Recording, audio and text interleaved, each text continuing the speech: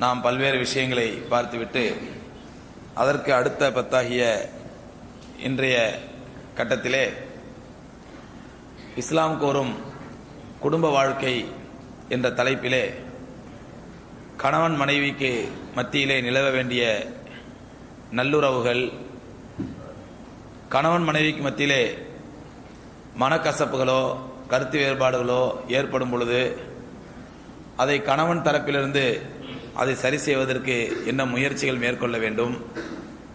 மனைவி தரப்பிலிருந்து அந்த கருத்து வேறுபாடுகளை களைவதற்கு எத்தகைய முயற்சிகள் மேற்கொள்ளப்பட வேண்டும் என்ற விவரங்களை எல்லாம் நேற்றைய மற்றும் அதற்கு முந்தைய தினங்களில் நாம் பார்த்து வருகின்றோம். அந்த தொடரிலே இன்றைய தினம் நாம் பார்க்க இருப்பது கணவன் மனைவி இரண்டு பேரும் கூட்டாக சேர்ந்து ஒரு மிகப்பெரிய சமுதாயத்தை உருவாக்குவதற்கான எந்த நோக்கத்திலே அல்லாஹ் ரபுல் ஆலமீன் திருமணத்தை ஷரியத்தினுடைய முக்கியமான அம்சமாக ஆக்கினானோ அந்த நோக்கத்தின் அடிப்படையிலே கணவனும் மனைவியும் சேர்ந்து ஒரு சமுதாயத்தை உருவாக்கும் நல்லெண்ணத்தில் அவர்கள் ஒரு குழந்தையை பெற்றெடுக்கும் பொழுது அந்த குழந்தையை வளர்ப்பதிலே இருவருக்கும் உள்ள பங்கு என்ன? குழந்தையை வளர்ப்பதிலே இருவதற்கும் உள்ள பொறுப்புகள் என்ன? அல்லது ஒரு குழந்தைக்கு பெற்றோர் மீதுள்ள கடமைகள் என்ன? என்பனவற்றை இன்றைய தினம் நாம் பார்க்கலாம். அல்லாஹ் ரபுல் ஆலமீன் தன்னுடைய திருமறையில் சொல்கின்றான் யாயுல்லதீன ஆமனு மூமின்களே லா தொல்ஹிக்கும் அம்பாலுக்கும் ஒலா அவுலாதுக்கும் அன் திக்ரில்லா. உங்களுடைய செல்வங்களோ உங்களுடைய குழந்தைகளோ உங்களை அல்லாவை நினைவுறுத்துவதை விட்டும் அல்லாவுடைய ஞாபகத்தை விட்டும் உங்களை தடுத்து விட வேண்டாம் என்று அல்லாஹ் ரபுல் ஆலமின் சொல்கின்றான். அதாவது உங்களுடைய செல்வங்களோ உங்களுடைய குழந்தைகளோ அல்லாவுடைய ஞாபகத்தை விட்டும் அல்லாவை நினைவு கூறுவது விட்டும் உங்களை தடுத்து விட வேண்டாம் என்று அல்லாஹ் ரபுல் ஆலமின் எச்சரிக்கின்றான். இதனுடைய பொருள் என்னவென்றால் எப்படி செல்வமானது மனிதனை அல்லாவுடைய ஞாபகத்தை விட்டு தடுக்குமோ அல்லாவுடைய சிந்தனையை விட்டு தடுக்குமோ அதே போன்று குழந்தை என்பதும் ஒரு வகையான செல்வம் குழந்தை செல்வம்.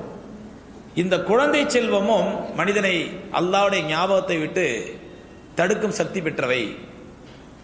எப்படி மனிதனுக்கு மிதமிஞ்சிய செல்வம் ஏற்பட்டு விட்டால் அந்த செல்வத்தை மேலும் பன்மடங்காக ஆக்குவதிலும் அந்த செல்வத்தை பாதுகாப்பதிலும் அந்த செல்வத்தை பற்றிய கவலையிலும் அக்கறையிலும் அவன் பல நேரங்களிலே அல்லாவுடைய தியானத்தை விட்டு கூட அவன் தூரமாகி விடுவானோ அதே போன்று அல்லாவுடைய சிந்தனையை விட்டு தூரமாகி விடுவானோ அதே போன்று இந்த குழந்தையை பெற்றவுடன் அதை பராமரிப்பதிலும் பாதுகாப்பதிலும் அதற்காக சொத்துக்கள் சம்பாதிப்பதிலும் சொத்துக்களை சேர்ப்பதிலும் அந்த குழந்தையினுடைய ஃபியூச்சரை பற்றியும் அந்த குழந்தையுடைய எதிர்காலத்தை பற்றியும் கவலைப்படுவதிலும் அக்கறைப்படுவதிலும் இப்படியே இருந்து அவன் அல்லாவுடைய ஞாபகத்தை விட்டும் அல்லாவுடைய திக்கரை விட்டும் அல்லாவுடைய சிந்தனை விட்டும் கூட அவன் தூரமாவதற்கான எல்லா விதமான வாய்ப்புகளும் இருக்கிறது என்பதை அல்லா ரபுல் ஆலமி எச்சரிக்கின்றான். இன்னைக்கு எத்தனை மனிதர்கள் அல்லாவுடைய சிந்தனையே இல்லாமல் வியாபாரம் வியாபாரம் வியாபாரம் பணம் பணம் பணம் என்று இந்த பணத்திலும் பண சிந்தனையிலும் வியாபார சிந்தனையிலும் செல்வ சிந்தனையிலுமே மூழ்கி இருக்கின்றார்களோ அவங்க எல்லாத்தையுமே கேளுங்க என்ன காரணம்னு சொல்லி தான் மனைவி மக்கள் நல்லா இருக்கணும் என் பிள்ளை நல்லா இருக்கணும் நான் கஷ்டப்பட்ட மாதிரி என் பிள்ளை கஷ்டப்படக்கூடாது. நான் படிக்காமல் இருந்த மாதிரி என் பிள்ளை படிக்கக்கூடாது படிக்காமல் இருக்கக்கூடாது. நான் தான் படிக்காத முட்டாளாக போயிட்டேன். என் பிள்ளையாவது நல்லா படிக்கணும். பெரிய ஸ்கூலில் படிக்கணும். பெரிய காலேஜில் படிக்கணும். அவனுடைய ஃபியூச்சர் ரொம்ப நல்லா இருக்கணும் என்று பெரும்பாலும் அவர்கள் அல்லாவை மறந்து எந்த அளவுக்கு என்றால் ஹராமான தொழில் கூட செய்வார்கள். எதற்காக? தன் பிள்ளை நல்லா இருக்கணுங்கிறதுக்காக. ஹராமான தொழில் சம்பாதிச்சு கோடி கோடியா சம்பாதிப்பான். எதுக்குன்னு கேட்டீங்கன்னா என்னுடைய பிள்ளை நான் பெற்ற பிள்ளை என்ன மாதிரி கஷ்டப்படக்கூடாது. அவன் வருங்காலத்தில் நல்லா இருக்கணும் செல்வ செழிப்போடு இருக்கணும். என்ன மாதிரி அவன் படிக்காதனா இருக்கக்கூடாது நல்லா படிக்கணும் அவன். நல்ல உயர்ந்த கல்வி கிடைக்கணும் உழைந்த உயர்ந்த காலேஜில் இருக்கணும் பெரிய ஆளாகணும் அப்போ தன்னுடைய குழந்தையை பராமரிப்பதிலும் பாதுகாப்பதிலும் மெயின்டெனன்ஸ் பண்ணுவதிலும் அந்த குழந்தைக்கா குழந்தையினுடைய ஃபியூச்சர் நல்லா இருக்கணுங்கிற விஷயத்திலையும் மனுஷன் எந்த அளவுக்கு மும்முரமாக மூழ்கிடுறான்னு சொன்னால் அதில் ஹராம் ஹலால கூட பார்ப்பதில்லை சரியத்தை கூட பார்க்கறது இல்லை அல்லாவுடைய இபாதத் திக்கிற கூட அவன் கவனிக்கிறது இல்லை அந்த அளவுக்கு அவனுடைய பிள்ளையை பற்றிய அக்கறை குழந்தையை பற்றிய அக்கறை மனிதனை அல்லாவுடைய ஞாபகத்தை விட்டு மறக்கடித்து விடுகின்றது. இதைத்தான் ரப்பல் சொல்கின்றான் மூமின்களே உங்களுடைய செல்வமோ உங்களுடைய குழந்தைகளோ அல்லாவுடைய ஞாபகத்தை விட்டு எங்களை தடுத்து விட வேண்டாம். அருமைக்குரியவர்களே ஒரு மூவினை பொறுத்தவரையிலே பேலன்ஸாக இருக்கணும். எப்படி? தன்னுடைய குழந்தை மீது கொண்டுள்ள அக்கறை அல்லாவுடைய ஞாபகத்தை விட்டு தன்னை தடுத்து விடக்கூடாது. அதே நேரத்தில் இவன் குழந்தை மீது அக்கறையே இல்லாம மற்ற விஷயங்களில் ஈடுபட்டு விடவும் கூடாது. இரண்டையும் சமமாக பார்க்க வேண்டும். ஏனென்றால் இந்த விஷயத்திலே குழந்தையை பராமரிப்பதிலும் பாதுகாப்பதிலும் மெயின்டெனன்ஸ் பண்ணுறதிலையும் தர்பியத்து படுத்துவதிலும் இந்த விஷயத்திலே தாயை விட தந்தைக்கு தான் அதிகமான பொறுப்பு இருக்குது. ஆனா சூழ்நிலை என்ன அப்படின்னு சொன்னா தந்தையை விட தாய் தான் அதிகமா அந்த காரியத்தை செஞ்சுட்டு இருக்கிறான் பொறுப்பு யாருடைய தகப்பன் தான். குழந்தையை தர்பியப்படுத்துறது ஒழுக்கப்படுத்துறது நல்ல குணமுள்ள ஆக்குறது குழந்தைய வந்து நல்ல ஒரு பிள்ளையை வந்து நல்ல பிள்ளையா உருவாக்குறது தந்தையுடைய கடமை. ஆனா இன்னைக்கு காலச்சூழல் எப்படி ஆகி போச்சுன்னா தந்தை உலகத்தை சம்பாதிக்கிறதுலையும் பணத்தை சம்பாதிக்கிறதுலையும் கடைக்கு போகிறதுலையும் லாபம் வியாபாரம் பண்ணுறதுலையும் அதுலயே அவர் பிஸி ஆயிடுறாரு. இந்த வேலையை பூரா யார் பார்க்கறான்னா பெண்கள் தான் பார்க்கணுங்கிற மாதிரி நிலைமை ஆகி போச்சு பெண்கள் தான் அதிக வாய்ப்பு ஆகி போச்சு பொறுப்பு கடமை க- ஆணு ஆணுடையதாக இருந்தாலும் கூட கணவனுடையதான் கடமை என்றாலும் கூட வாய்ப்பு யாருக்கு ஆகி போச்சுன்னா பெண்களுக்கு தான் வாய்ப்பு ஆகி போச்சு அதனால தான் அல்லாஹ் ரப்பல் தன் திருமண இடத்துல சொல்றான் பாருங்க யா யுஹல்லதீன் ஆமனும் மூமின்களே கு அன்புசக்கும் அஹலீக்கும் நாரா ஒக்கோது ஹன்னாஸ் ஒல் ஹிஜாரா. மூமின்களே உங்களுடைய உங்களையும் உங்களுடைய குடும்பத்தையும் குடும்பத்தை என்று சொல்வது மனைவி மக்கள் மனைவி மக்கள் கு அன்புசக்கும் உங்களையும் அஹலீக்கும் உங்களுடைய குடும்பத்தாரையும் நரக நெருப்பை விட்டு பாதுகாத்துக் கொள்ளுங்கள். ஒக்கோது ஹன்னாஸ் ஒல் ஹிஜாரா அந்த நரக நெருப்பினுடைய எரிபொருள் என்ன தெரியுமா? பெரும் பெரும் பாறாங்கற்களை போட்டு எரியூட்டப்பட்ட நெருப்பு மூட்டப்பட்ட அந்த நரக நெருப்பை விட்டு உங்களையும் உங்களுடைய குடும்பத்தாரையும் பாதுகாத்துக் கொள்ளுங்கள் அப்படிங்கிறான். அப்ப அந்த அடிப்படையில் பார்க்கும் பொழுது ஒரு குடும்ப தலைவனுடைய கடமை தன்னையும் தன்னுடைய குடும்பத்தாரையும் நரகத்தை விட்டு பாதுகாக்க வேண்டியது குடும்ப தலைவனுடைய கடமை. ஒரு மனைவி வழிகட்டு போகிறாள் என்றால் அந்த மனைவியை திருத்த வேண்டியது கணவனுடைய கடமை. ஒரு பிள்ளை தறிகட்டு போகிறதுனால் அந்த பிள்ளையை நல்ல பிள்ளையாக நெறிப்படுத்துவது சீர்படுத்துவது ஒரு குடும்ப தலைவனுடைய கடமை. அதைத்தான் ரசூலுல்லாஹி சல்லல்லாஹு சொன்னாங்க அலா குல்லுக்கும் ராயின் வ குல்லுக்கும் மஸ்ஊலன் ரஅயத்திஹி நீங்க எல்லாருமே பொறுப்பாளிகள் உங்களுடைய பொறுப்பை பற்றி விசாரிக்கப்படுவீர்கள். எந்த அளவுக்கு ஒரு குடும்ப தலைவன் குடும்பத்தில் உள்ள உறுப்பினர்களுக்கு அவன்தான் பொறுப்பாளி. ஒரு குடும்ப தலைவன் அவனுக்கு கீழே இருக்கக்கூடிய மனைவிக்கும் மக்களுக்கும் அவன் தான் பொறுப்பாளி. ஒரு ம- ஒரு குடும்ப தலைவன் அவர் மட்டும் இபாத்தாலியா இருக்கிறாரு அவர் மட்டும் அல்லாஹ் பயப்படுறாரு அவர் மட்டும் நல்ல தக்குவதாக இருக்கிறாரு அவர் மனைவி சீர் போய் கிடக்கிறா போய் அவருடைய குழந்தைங்க சீர் கெட்டு போய் கிடக்குது. இவர் மட்டும் நல்லா இருந்தாலும் கூட மனைவி மக்கள் சீர் கெட்டு கிடந்தால் அந்த பாவம் இவரைத்தான் சாரும். இவரைத்தான் சாரும். நபிசல்லாசன் ஒரு அதிசல சொன்னாங்க இன்னல் மையத்தில் யுஅதபு பி புகாய் அஹ்லிஹி. குடும்பத்தார் அழுவதின் காரணமாக ஒரு மையத்து வீட்டில் மூத்தாயிட்டாரு ஒரு குடும்ப தலைவரோ ஒரு பெரியவரோ மூத்தாயிட்டாரு. அந்த வீட்டில் உள்ளவங்களாம் அழுகுறாங்க ஒப்பாரிச்சு அழுகுறாங்க தலையில தலையில அடிச்சுட்டு அழுகுறாங்க ஐயோ என் குடும்ப தலைவர் மூத்தா போயிட்டாரு நீ என் குடும்பத்தை யார் பாப்பான்னு சொல்லி. நபிசல்லா சொன்னாங்க இன்னல் மையத்தில் யுஅதபு இந்த மையத்து அதாவது செய்யப்படும் பி புக்காய் அகலிகி அவருடைய குடும்பத்தினர் அழுவதின் காரணமாக. ஒரு மையத்து அவருடைய குடும்பத்தினர் அழுவதின் காரணமாக அந்த மையத்துக்கு அதாவது செய்யப்படும் அப்படிங்கிறாங்க நபிசல்லா அலுவலாம் இது அல்லாஹ்வுடைய ஆயத்தை கம்பேர் பண்ணி பார்த்தீங்கன்னா அல்லாவுடைய ஆயத்துக்கு இந்த ஹதீஸ் முரணா இருக்கும். அல்லாவுடைய ஆயத்துக்கு இந்த ஹதீஸ் முரணா இருக்கும். எப்படி? அல்லாஹ் ரப்பல் ஆலம் சொல்றான் ஒலா தசிர் வாசிரத்தும் விஸ்ரா உஹரா. எந்த ஒரு ஆத்மாவும் மற்ற ஆத்மா செய்த பாவத்திற்கு இது பொறுப்பேற்காது. நான் செய்யற பாவத்துக்கு என் புள்ள பொறுப்பேற்க முடியாது. என் புள்ள செய்யற பாவத்துக்கு நான் பொறுப்பேற்க முடியாது. எங்க அத்தா செய்யற பாவத்துக்கு நான் பொறுப்பேற்க முடியாது. நான் செய்யற பாவத்துக்கு எங்க அத்தா பொறுப்பேற்க முடியாது. ஒலா தசிர் வாசிரத்தும் விசிற உஹரா.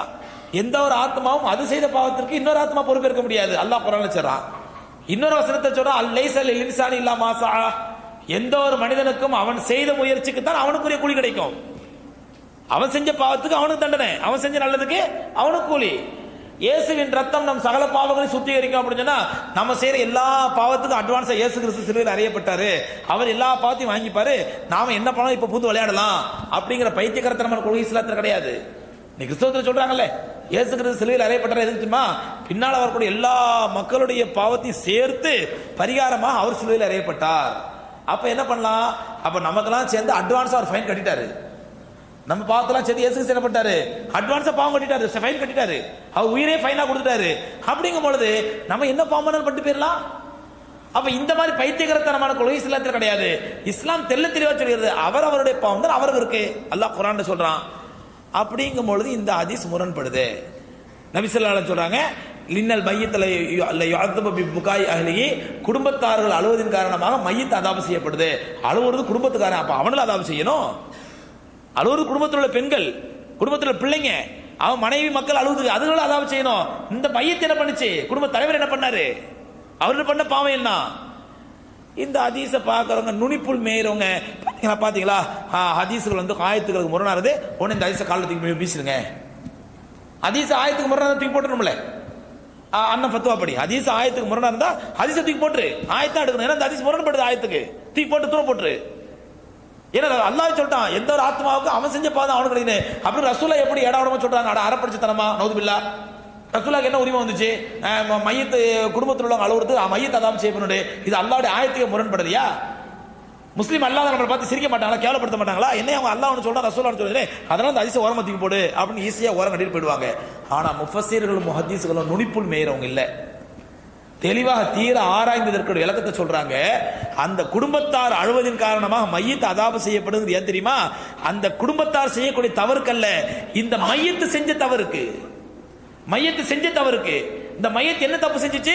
ஒரு நான் இறந்துட்டா குடும்பத்தில் ஒப்பாரி வச்சு அழக்கூடாது. அழுவுறது பாவம் என்ற மார்க்கத்தை இந்த மையத்து குடும்பத்தாருக்கு சொல்லித்தர மறுத்து விட்டது ஒப்பாரி வச்சு அழக்கூடாது பெரிய பாவங்கிற இந்த மார்க்கத்தை இந்த குடும்ப தலைவர் சொல்லி கொடுத்துருக்கணும். சொல்லி கொடுத்தா அழுவாங்களாங்க? ஒரு குடும்ப தலைவர் சொல்றது பாருப்பா நான் மோத்தாரன் யாரும் ஒப்பாரிச்சு அழுவலாம் கூடாது. பெரிய பாவம் எனக்கு அதாவது செய்யப்படும். அதனால ஒப்பாரில அழுவச்சு அழுவாதீங்க. அப்படின்னு சொல்லியிருந்தா யாரும் அழுவாங்களா?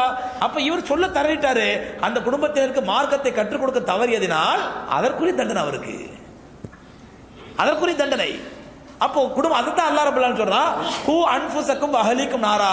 மக்களே மூமின்களே உங்களையும் உங்களுடைய குடும்பத்தாரையும் சேர்த்து நரகத்தை விட்டு பாதுகாத்துக் கொள்ளுங்கள். அப்ப குடும்பத்தார் தப்பு செய்யறாங்கன்னு சொன்னா குடும்பத்தார் பாவம் செய்யறாங்கன்னு சொன்னா அது குடும்ப தலைவருக்கு தான் முழு பொறுப்பு உண்டு அவர் தான் விசாரிக்கப்படுவார்.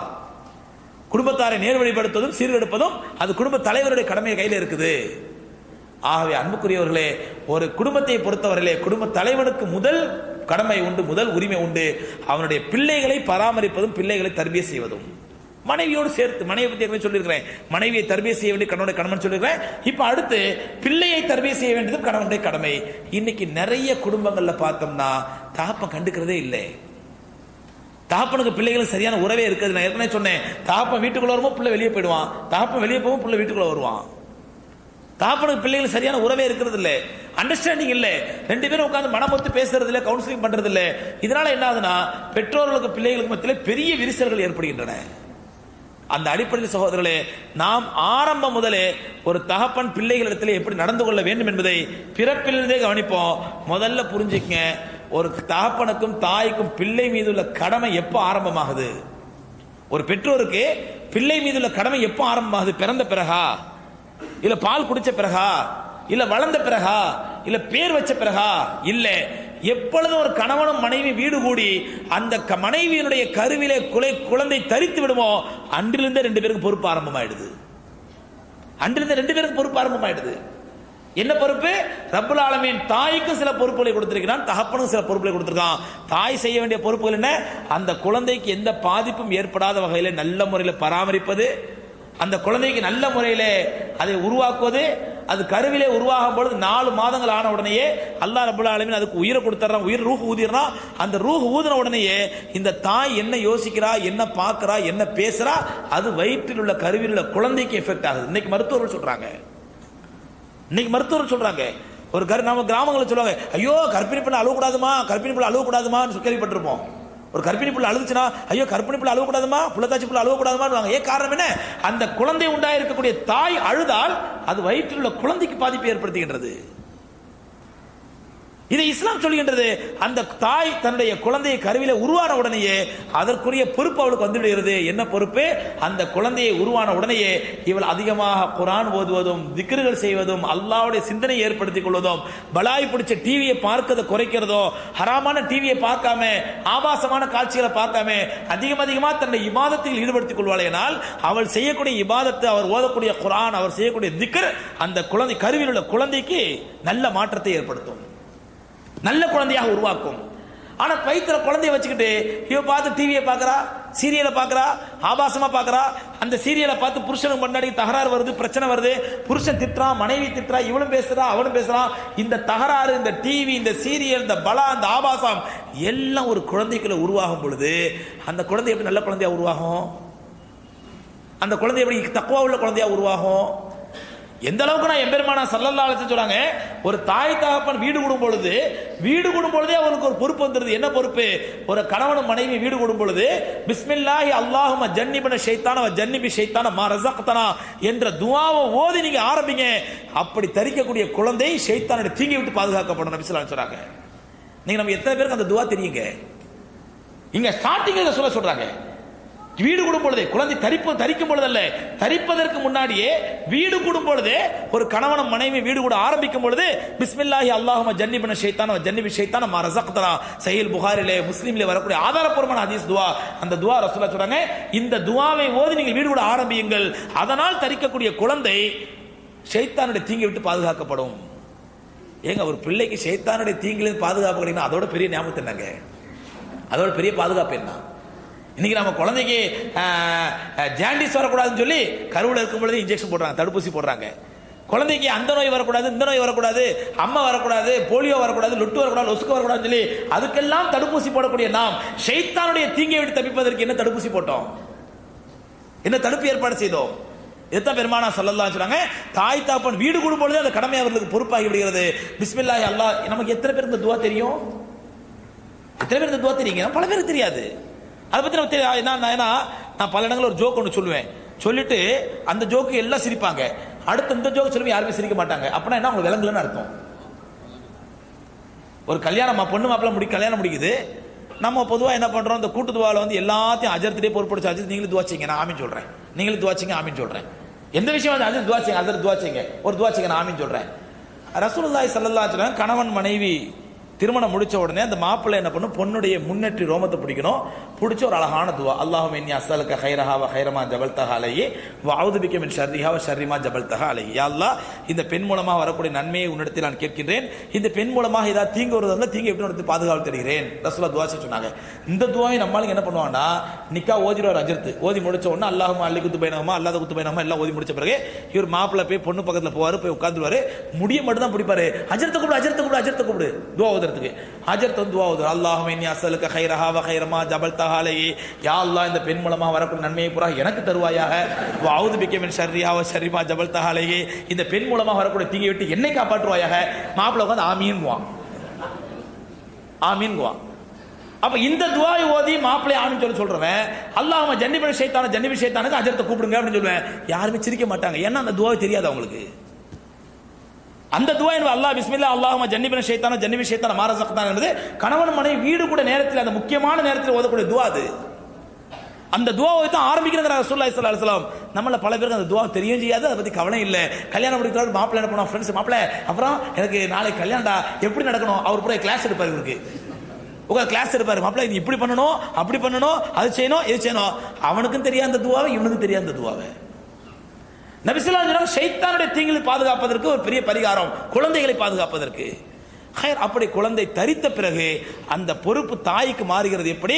அந்த தாய் கண்ட கண்ட காட்சிகளை பார்க்காமல் கண்ட கண்ட விஷயங்களை கேட்காமல் அவள் எப்போ குழந்தை தருவில் உருவாயிட்டானோ அப்பொழுது இருந்தே அல்லாவுடைய திக்கரோட அல்லாவுடைய இபாதத்தோட தொழுகையோட குரானோட ஹதீஸோட மார்க்க விஷயங்களோட அவள் அந்த மாதிரி விஷயங்கள் அதிகமாக கேட்டுக்கிட்டே இருந்தாண்டா?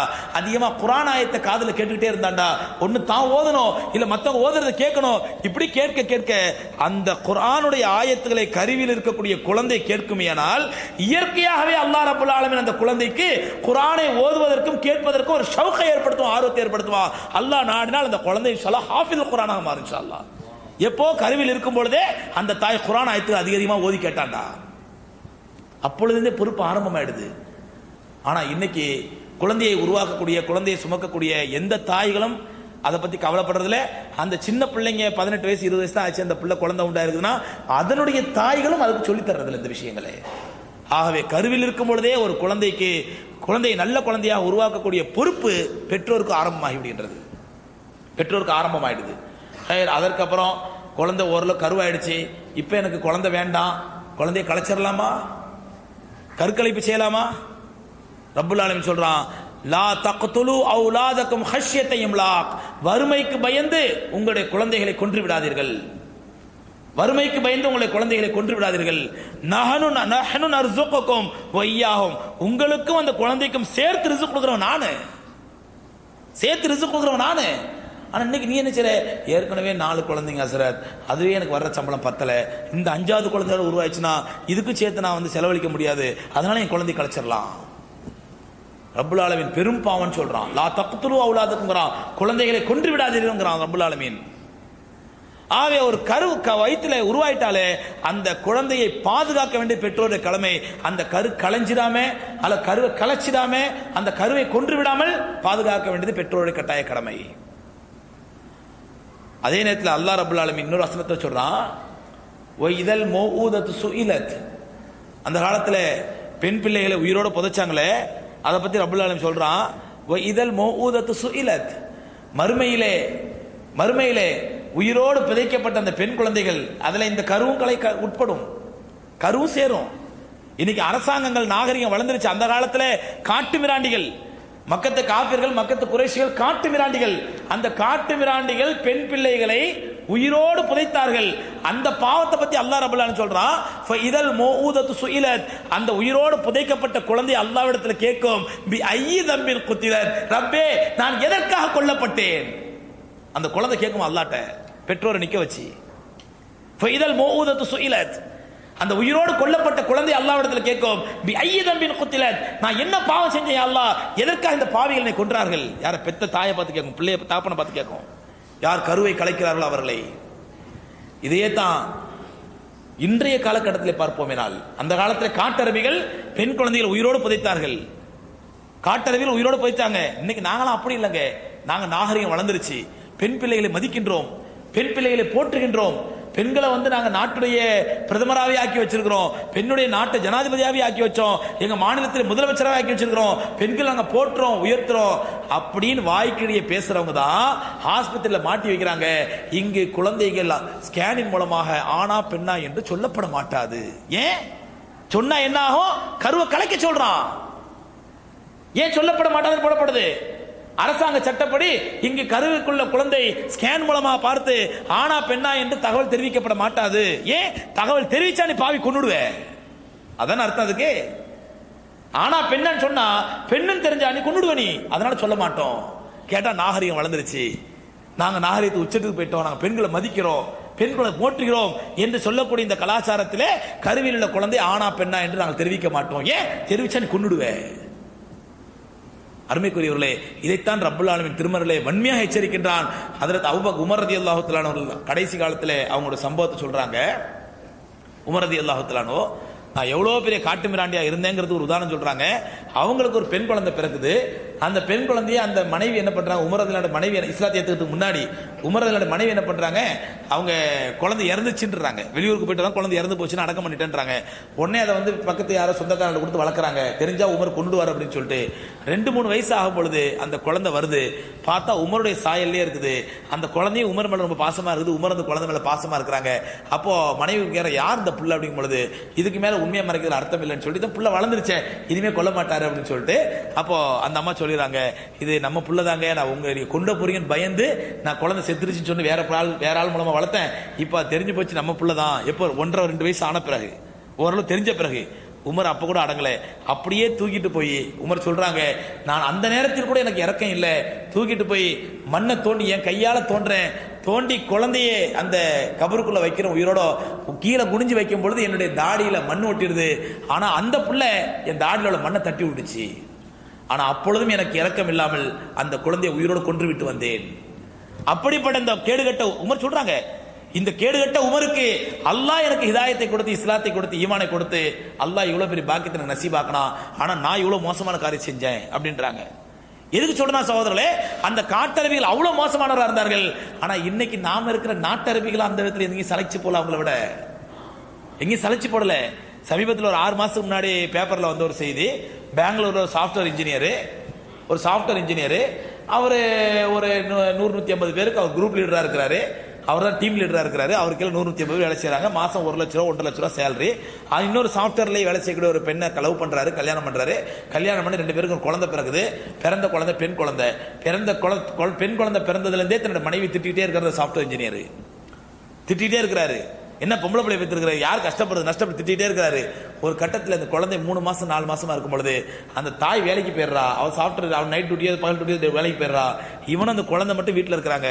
தான் பிடிக்கக்கூடிய சிகரெட்டாலேயே அந்த மூணு மாத குழந்தைய சூடு வச்சு சாகடிச்சிடறான். பெரிய கொடுமை என்ன தெரியுமா? அந்த பாவி பேர் ஒரு முஸ்லீமுடைய பேர். அந்த பாவியுடைய பேர் முஸ்லீமுடைய பேர்.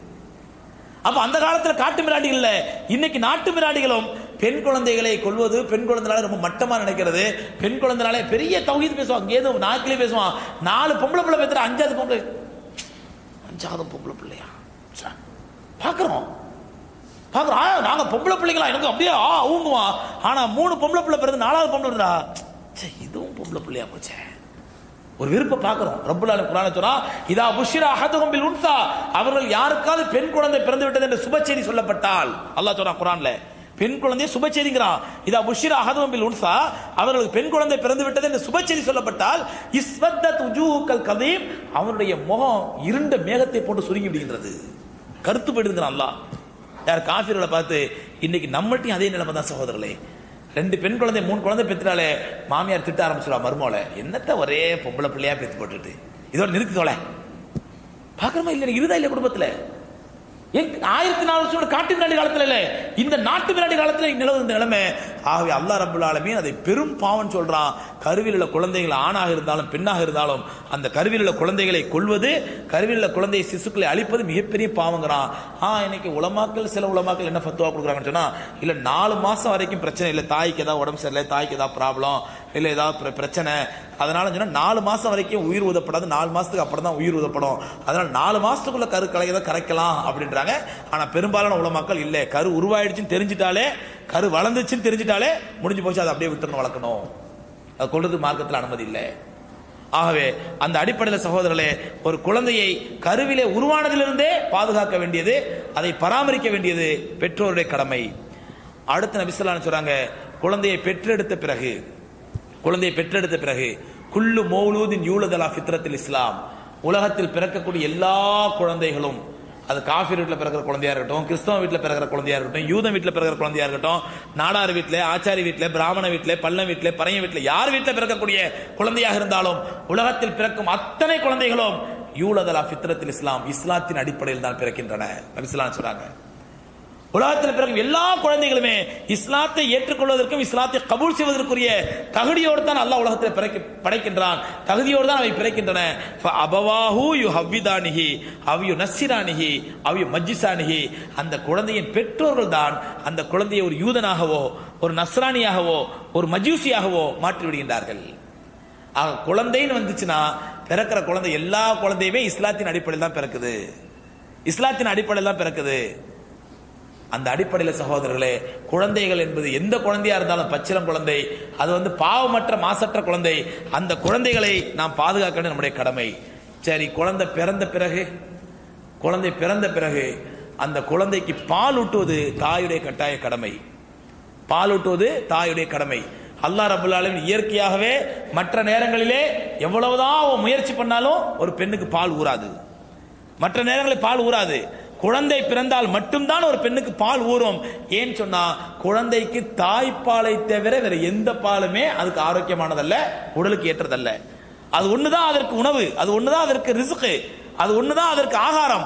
அப்ப தாய்ப்பால் ஒண்ணுதான் ஆகாரங்கிறனால அல்லாஹ் சுப்ஹானஹு பெண்களுக்கு இயற்கையாகவே குழந்தை பிறந்தவுடன் பால் ஊறக்கூடிய ஒரு பாக்கியத்தை தன்மையை கொடுத்துருக்கிறான்.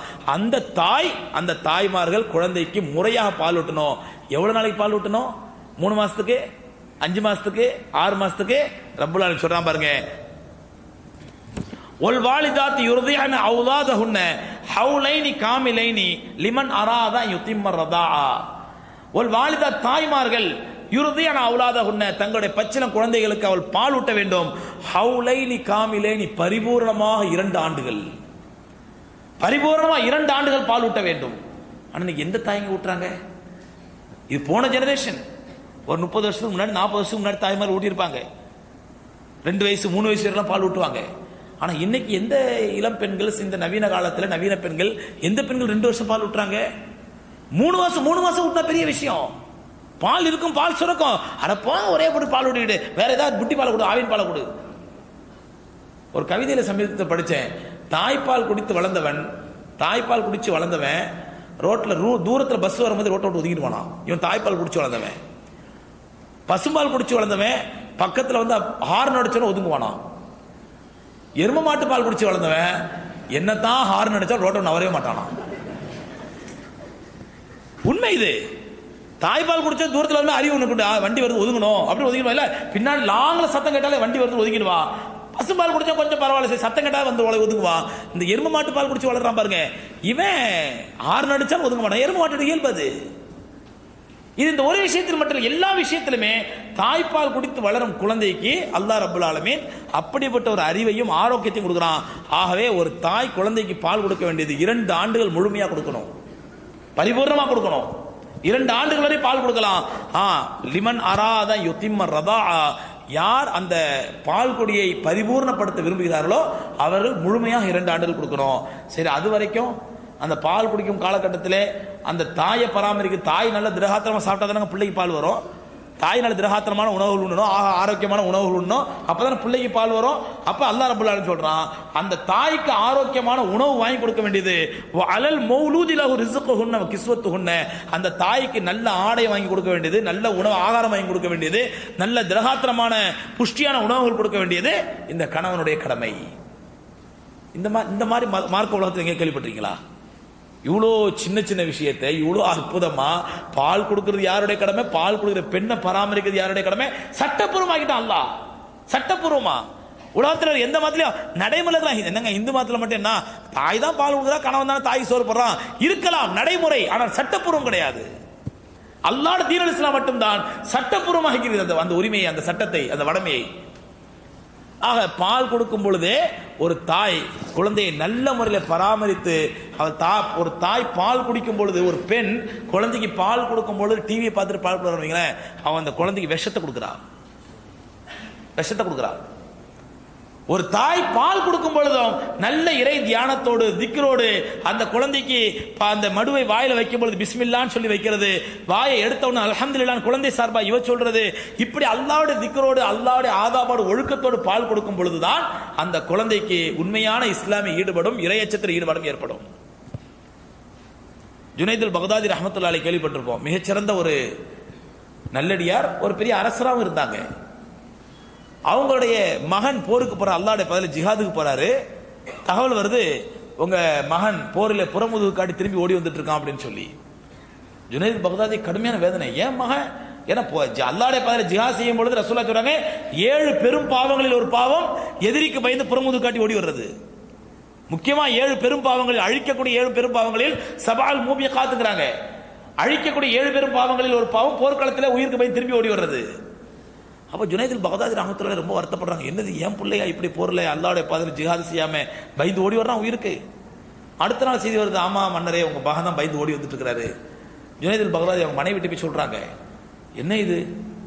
பிள்ளை இப்படியே வந்து போரில் பயந்து ஓடி வந்துட்டு இருக்கானா? பெரிய வேதனையா இருக்குது. நம்ம அப்படியே பிள்ளைய வளர்த்துருக்குறோம் அப்படின்னு சொல்லி. அவங்க மனைவி சொல்றாங்க நம்பாதீங்க. செய்தி உண்மையா இருக்காது. செய்தி உண்மையா இருக்காது நம்பாதீங்க.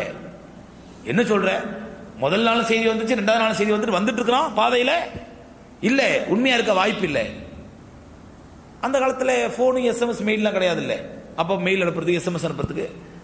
மூன்று நாள் நான்கு நாள் கழிச்சு செய்தி இந்த மாதிரி வந்துட்டு நாலாவது நாள் செய்தி வருது. மன்னரே இதுக்கு முன்னாடி வந்த செய்திலாம் தப்பு. மன்னர் வெற்றியோடு திரும்பி வந்துட்டு இருக்கார் இளவரசர். அல்லாட பாரு ஜிகா செய்து வெற்றியோடு திரும்ப வந்து கொண்டிருக்கிறார். மன்னருக்கு ஒரே ஆச்சரியம். நேரம் மனைவிட்டு போனாரு. நீ எந்த அடிப்படை இது பொய்ன்னு சொன்ன? இந்த செய்தி உண்மை இல்லைன்னு சொன்னியா அவ்வளவு ஆணித்தரமா மறுத்தி எப்படி மறுத்த? அந்த அம்மா சொன்னாங்க என்னுடைய பிள்ளை கை குழந்தையாக இருக்கும் பொழுது ஒரு தடவை கூட ஒது இல்லாமல் என் பிள்ளைக்கு நான் பால் கொடுத்தது கிடையாது. ஒது இல்லாமல் ஒரு ஒரு தடவை என் பிள்ளைக்கு பால் கொடுத்ததில்லை. அப்படி ஒதுவோடு பால் கொடுத்த என் பிள்ளை அல்லாவுடைய மார்க்கத்திற்கு முரணாக அற்பமான இந்த உயிருக்கு பயந்து போர்ல புறமுதிட்டு ஓடி வருவானா? நான் அந்த நம்பிக்கையில தான் சொன்னேன் இது பொய்யா இருக்குன்னு சொல்லி அல்லாஹ் இந்த வாக்கு உண்மைப்படுத்தினான் அப்படின்னாங்க. எதுக்குன்னா சகோதரர்களே? ஒரு தாய் பிள்ளையை உருவாக்குவதிலும் பிள்ளையை பராமரிப்பதிலும் எங்கிருந்து அவர் பொறுப்பு ஆரம்பிக்கிறது? கருவிலிருந்தே ஆரம்பித்து பால் குடிக்கும் வரை அந்த உறவு அந்த பொறுப்பு தொடர்கிறது. பால் கொடுக்கும் பொழுது அல்லாட திக்கரோட அல்லாட இபாதத்தோட முடிஞ்சா வா- வாய்ப்பு இருந்தா ஒது செஞ்சுட்டு அந்த குழந்தைக்கு பால் கொடுக்கும் பொழுது அந்த பாலை குடிக்கக்கூடிய குழந்தை பாலோடு சேர்த்து தக்குவாயும் சேர்த்து பருகும் அது. பாலோடு சேர்த்து இறை அச்சத்தையும் சேர்த்து பருகும். ஆக பிள்ளைகளை தக்குவா உள்ளவர்களாக இரையச்சம் உள்ளவர்களாக ஆக்கக்கூடிய பொறுப்பு கருவில் உருவானதுலேருந்தே ஆரம்பமாயிடுது. ஆ நபிசல்லான்னு சொன்னாங்க. ஒரு சஹாபி வந்து கேட்டாங்க யார சொல்லல்லா மா ஹக்கு இப்னி ஆதா ஒரு பிள்ளையை கூட்டு வந்தாங்க. யார சொல்ல அந்த பிள்ளை என்னுடைய பிள்ளை இவனை நான் எப்படி வளர்க்கணும்? எப்படி பராமரிக்கணும்? அப்படின்னு கேட்டாங்க. நபிசல்லான்னு சொன்னாங்க ஃபஹஸ்ஸின் இஸ்மஹு. முதல்ல நல்ல அழகான பேர்வை அந்த பிள்ளைக்கு. அழகான பேர் வை. அத்திபுகு அந்த குழந்தை நல்ல முறையில் தர்பியத்தோட வ- அதபோட வளரு ஒழுக்கத்தை கற்றுக் கொடுத்து வளர்த்துரு மோதி அண்ட் ஹசனா. அந்த பிள்ளையினுடைய எதிர்காலத்தை நல்லபடியாக அமைச்சு கொடு. நபிசுல்லா சொன்னாங்க மூன்று விஷயங்கள் சொல்றாங்க. முதல்ல ஹஸ்ஸின் இஸ்மஹு. ஒரு குழந்தை பெற்றெடுத்த உடனேயே அந்த குழந்தைக்கு முதல்ல பெற்றோர் செய்ய வேண்டிய பேர் அழகான பேர் வைக்கணும். அழகான பேர். பேர் வைப்பது என்பது சகோதரர் ரசூல்லாய் சல்லல்லா அலிஸ்லத்துடைய அற்புதமான சுண்ணத்து. அந்த சுண்ணத்தை நம்ம முறைய செய்யணும். ஆக முதல்ல குழந்தை பிறந்த உடனே பெற்றோர் செய்ய வேண்டிய கடமை பால் கொடுப்பது பால் குடிப்பது. அதே நேரத்தில் ஏழாவது நாளில் அந்த குழந்தைக்கு மொட்டை அடித்து மொட்டை அடித்து அந்த முடியை எடுத்து குழந்தைங்க ஆண் குழந்தையாக இருந்தாலும் பெண் குழந்தையாக இருந்தாலும் மொட்டை அடிக்க ஏழாவது நாள் அடிக்க சுண்ணத்து. ஏழாவது நாள் வாய்ப்பில்லை கொஞ்சம் தள்ளி கூட அடிச்சுக்கலாம். தப்பு இல்லை. குழந்தை ரொம்ப லைட் வெயிட்டாக இருக்குது. இப்போ கத்திலாம் பட முடியாது. தோல்லாம் ரொம்ப சாஃப்டாக இருக்கும். இப்படி ஏதாவது டாக்டர் சொல்கிறாங்க அப்படின்னு சொன்னால் கொஞ்சம் தள்ளி கூட அடிச்சுக்கலாம். தப்பு இல்லை ஆனால் ஏழாவது நாள் செய்கிற சுண்ணத்து அந்த மொட்டை அடித்து அந்த முடியை எடுத்து அந்த முடியினுடைய எடை அந்த முடி எவ்வளவு எடை இருக்குதுன்னு பார்த்து அந்த அளவுக்கு வெள்ளியை கணக்கு பார்த்து சதக்கா செய்ய வேண்டும். முடி என்ன குழந்தை முடி மிஞ்சி மூணு கிராம் நாலு கிராம் இருக்கும். மூணு கிராம் இல்லை நாலு கிராம் இருக்கும். அந்த நாலு கிராம் இன்னைக்கு வெள்ளி எவ்வளோங்க கிராம் அறுபது ரூபா இருக்குமா? ஐம்பது ரூபா அறுபது ரூபா இருக்கும். நாலாவது இருபத்தி நாலு இரநூத்தி நாற்பது ரூபா சதக்கா பண்ணிடணும் முடிஞ்சு போச்சு. அந்த முடியினுடைய கிராம் அளவுக்கு எக்கா வெள்ளியை கணக்கு பார்த்து அந்த வெள்ளியை சதக்கா பண்ணிடணும். அப்புறம் குழந்தை பிறந்த உடனேயே செய்ய வேண்டிய சுண்ணத்தை வலது காதில் பாங்கும் இடது காதில் இக்காமத்து சொல்லி ஊதணும். யாராவது ஒருத்தர் தெரிஞ்சவங்களை கூட்டு போய் அப்புறம் நீங்க யாரை நல்ல இரையச்சம் உள்ளவர்களாக நல்ல உங்க குடும்பத்தில் பெரிய மனுஷன் நினைக்கிறீங்களோ அவங்கள கூட்டு போய் அவர்கள் வாயால லைட்டா பேரிச்சம்பழத்தையோ அல்லது தேனையோ சுவைத்து அவங்க எச்சியோடு சேர்த்து விட்டு வைக்கிறோம். இதெல்லாம் ஆ, குழந்தைக்கு இன்ஃபெக்ஷன் ஆகும். அப்பெல்லாம் பண்ண நீ சொல்லிட்டு போ. எங்க ரசூல்லா சொல்லிட்டாங்க செய்ய சொல்லி. இன்ஃபெக்ஷன் ஆகுது கன்ஃபெக்ஷன் ஆகுது. டாக்டர் செய்ய விட மாட்டான் நர்ஸ் செய்ய விட மாட்டான். என்னென்ன பிறந்த குழந்தை இன்ஃபெக்ஷன் செய்றீங்க? ஆ வா- நீ சொல்லிட்டு போ. எங்க ரசூல்லா சொல்லிட்டாங்க எச்சில வாயில வச்சு தக்குவா உள்ளவங்க வாயில வச்சு அந்த பேரிச்சம்பழத்தை லைட்டா குழந்தையோட வாயில வைங்கன்னு சொல்லிட்டாங்க. இது வைக்கிறது அரபில் தஹனீக் என்று சொல்லப்படும். நபிசல்லா அலிசன் அலைஹி சுண்ணத்தாக்கி வச்சிருக்காங்க அப்புறம் வலது காதில் பாங்க இடது காலில் இக்காம சொல்லி விடணும். ஏழாவது நாள் அந்த குழந்தைக்கு மொட்டை அடிச்சு அந்த மொட்டையினுடைய அளவுக்கு சதக்கா பண்ணணும். அப்புறம் அந்த குழந்தையின் பேர்ல அக்கிக்கா கொடுக்கணும். ஆண் குழந்தையா இருந்தா ரெண்டு ஆடு பெண் குழந்தை ஒரு ஆடு அக்கையா கொடுக்கணும் அக்கைக்கா என்பது கம்பல்சரியோ வாஜிபோ ஃபர்தோ இல்லை. அது சுன்னத்து வாய்ப்பு இருந்தா செய்யுங்க. இல்ல ஆ வட்டி கடன் வாங்கியாவது நம்ம பிள்ளைக்கு அக்கையா கொடுக்கணும். அப்படி ஒன்றும் அவசியம் கிடையாது. அப்படின்னு அவசியம் கிடையாது. சுன்னத்து நபிசல்லா சுண்ணத்து வாய்ப்பு இருந்தா செய்யுங்க இன்ஷால்லா ஆ, அப்புறம் குழந்தைக்கு முதல்ல அழகான பேர் வைக்கணும். இன்னைக்கு நம்ம பேர் வைக்கிறதுல தான் குளறுபடி பண்றாங்க. அதில் நல்ல ஃபேன்சி நேமா பார்த்து வைக்க ஃபேன்சி நேம் வாயில நுழையிற மாதிரி வாயில் வர மாதிரி வா- வாழைப்பழம் வைக்க வேண்டியதுதான். வாயில நுழைஞ்சிரும். இல்ல காதுல நுழையிற மாதிரி குச்சின்னு வைங்க காதுல நுழைஞ்சிரும். ஃபேன்சி நேமா வைங்க. அதுவும் அந்த அந்த ஜா ஜி அந்த சவுண்ட் வரணும். அந்த ஜா ஜி ஜூ அப்படின்னு சொல்லி. அன்னைக்கு ஒருத்தர் கேட்குறாரு அது நல்ல ஃபேன் சினிமா வைங்க. ஃபேன் சினிமா ஜானியான்னு வைக்கலாமா? ஃபர்ஸ்ட் கிளாஸ் அது நல்ல தெரியாச்சே விபச்சாரின்னு அர்த்தம். ஜானியான விபச்சாரின்னு அர்த்தம். ஜானியா மிர்சா அது எனக்கு தெரியாதுங்க. எந்த அர்த்தத்தில் வச்சாங்க ஜானியான அரபில விபச்சாரின்னு அர்த்தம். நமக்கு நல்ல அர்த்தம் ஃபர்ஸ்ட் கிளாஸ் ஜானியான வச்சிருவோம் பிள்ளைக்கு. நவுது பில்லா நான் மதரசால ஓதிக்கிட்டு இருக்கும் பொழுது ரெண்டாவது சுரம் மூணாவது சுரம் ஓதிட்டு நினைக்கிறேன். அப்போ லீவ்ல வெள்ளிக்கிழமை லீவ்ல வீட்டுக்கு வந்திருந்தா அப்ப எங்க பள்ளி அசரத் என்ன பண்ணாரு? சம்ஸ்தி வாப்பா அப்படின்னு கூட்டு போனாரு.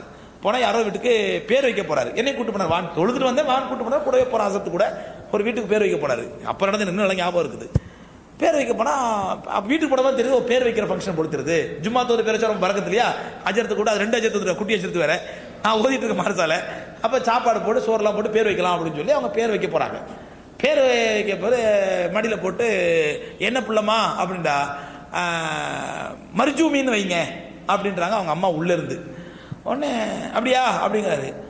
நான் டக்குன்னு ஹசரத் மருஜூமின்னா தப்பான அர்த்தம் அப்படின்னு என்னப்பா என்ன அர்த்தம்ப்பா மர்ஜூமினா விபச்சாரம் செய்து கல்லால் எடுத்து கொல்லப்பட்டவள் அர்த்தம்.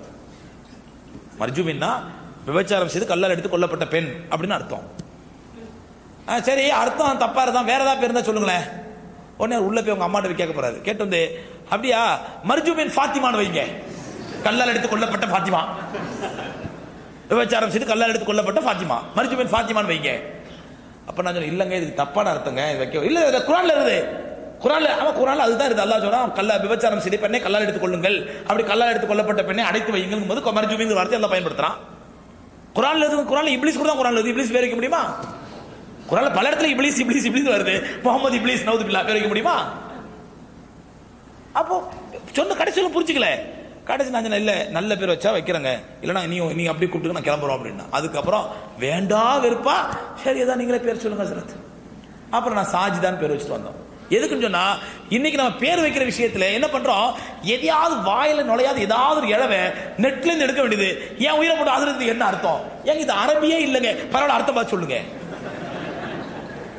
எங்கேயாவது நெட்ல இருந்து வெப்சைட்ல இருந்து எந்த பலம் எடுக்க வேண்டியது? வாயிலே நுழையாத பேரு. ஏதா நாலு எழுத்த போட்டு இதுக்கு அர்த்தம் சொல்லுங்க எனக்கு சொல்லி ஆகணும் அர்த்தம். இன்னைக்கு மத்தியானத்தில் ஃபோன் பண்ணாரு. ஹசரத் அலைநாடா என்ன அர்த்தம்? அப்படின்றாரு. அலைனாவா? அப்படின்னு யோசிச்சுட்டு இருக்கேன் இந்த அஸ்ஸலாமு அலைனா வா அப்படின்னு வருதுல்ல. ஓ அப்படி அலைனானா எங்கள் மீதுன்னு அர்த்தங்க. அப்படியா? வேற ஏதாவது அர்த்தம் இருந்தா இல்ல அலைனானா எங்கள் மீதுன்னு அர்த்தம். இல்ல பிள்ளைக்கு அலைனான்னு பேர் வச்சுட்டேன். அடப்பாவி. பிள்ளைக்கு அலைனா என்ன பேரு? எங்கள் மீது. எங்கள் மீது எங்கள் மீது. என்ன எங்கள் மீது? அலைனானா எங்கள் மீதுன்னு அர்த்தம். அலைனான் பேர் வச்சிருக்காங்க பொம்பளை பிள்ளை அழகாக தான் அலைனான் பேர் வச்சிருக்காங்க என்ன பேர் இது? அப்ப இப்படி என்ன இளவையாவது இவங்களா எடுத்துட்டு அதுக்கு ஏதாவது நல்ல அர்த்தம் சொல்லு. சகோதரர் இது ரசூல்லா இருக்கிற சுண்ணத்தல்ல பெருமானா சல்லல்லாஹும் எத்தனையோ வைத்த பெயரை மாற்றி இருக்கிறாங்க வச்ச பேரை மாத்தி இருக்கிறாங்க நல்ல பேரை மாத்தி இருக்கிறாங்க அதனால அந்த காலத்துல ஹர்புன்னு சொல்லி முர்ரான்னு சொன்னா பேர் வைப்பாங்க. ஒன்றில் ஒரு முறை ஃபாத்திமா ரதி அவங்களுக்கு குழந்தை பிறந்திருக்குது. ஃபாத்திமா ரதி குழந்தை பிறந்திருக்கு நபிசலாம் பார்க்க வர்றாங்க. முதல் குழந்தை. நபிசலாம் பார்க்க வர்றாங்க. பார்க்க வரும் பொழுது ஆயிஷா ஃபாத்திமாவும் அலிதில் உட்காந்துருக்குறாங்க அலிட்டு அழியா என்ன பேர் வச்சீங்க? பிள்ளைக்கு. நல்ல அழகான பிள்ளையா இருக்கு என்ன பேர் வச்சீங்க? அப்படின்னாங்க. யார சொல்ல ஹர்புன்னு பேர் வச்சேன் அப்படின்னாங்க. அந்த காலத்தில் அரபுகள் ஹர்புன்னு பேர் வைக்கிறது ரொம்ப பிரபலம். ஹர்புன்னு பேர் ஹர்புனா போர்க்களம்னு அர்த்தம். போர்க்களத்தில் போர்க்களத்துல இவன் கதாநாயகனா இருக்கணும் நல்ல வீரமா போராடணும் அப்படின்னு ஹர்புன்னு பேர் வைப்பாங்க. இன்னைக்கு நம்ம ஆளுங்க எவனா சிக்ஸர் அடிச்சா போதும்? எல்லாத்துக்கும் அசாருதீன். அசாருதீன் பத்து சிக்ஸர் அடிச்சான். இப்ப பதினெட்டு வயசு இருபது வயசு பசங்க பூரா எல்லாம் அசாருதீன் அசாருதீன் இருப்பான். அந்த ஆயிரத்தி தொள்ளாயிரத்தி தொண்ணூத்தி அந்த கல்ஃப் வார்ல சதாம் ஹுசேன் எல்லாம் Saddam Hussein Saddam Hussein Saddam Hussein. இப்ப அசாருதீன் அப்புறம் மேட்ச் ஃபிக்ஸிங்கில் மாட்டிக்கிட்டு ஜெயிலுக்கு போனதுக்கு அப்புறம் பேரை மாத்த முடியுமா? எல்லாம் அசாருதீன் எல்லாம் அப்ப சல்மான் கான் எல்லாம் ஷாருக் கான் என்ன மண்ணாங்கட்டி கான் என்ன பலாய் கான் எல்லா கான் பேர் வை. ரசூல்லா இஸ்லாம் அழகான பேர் வைக்க சொல்றாங்க. அலிட்டு சொன்னாங்க அலியே ஹர்பேன நல்ல பேர் இல்லை ஹசன் வைங்க.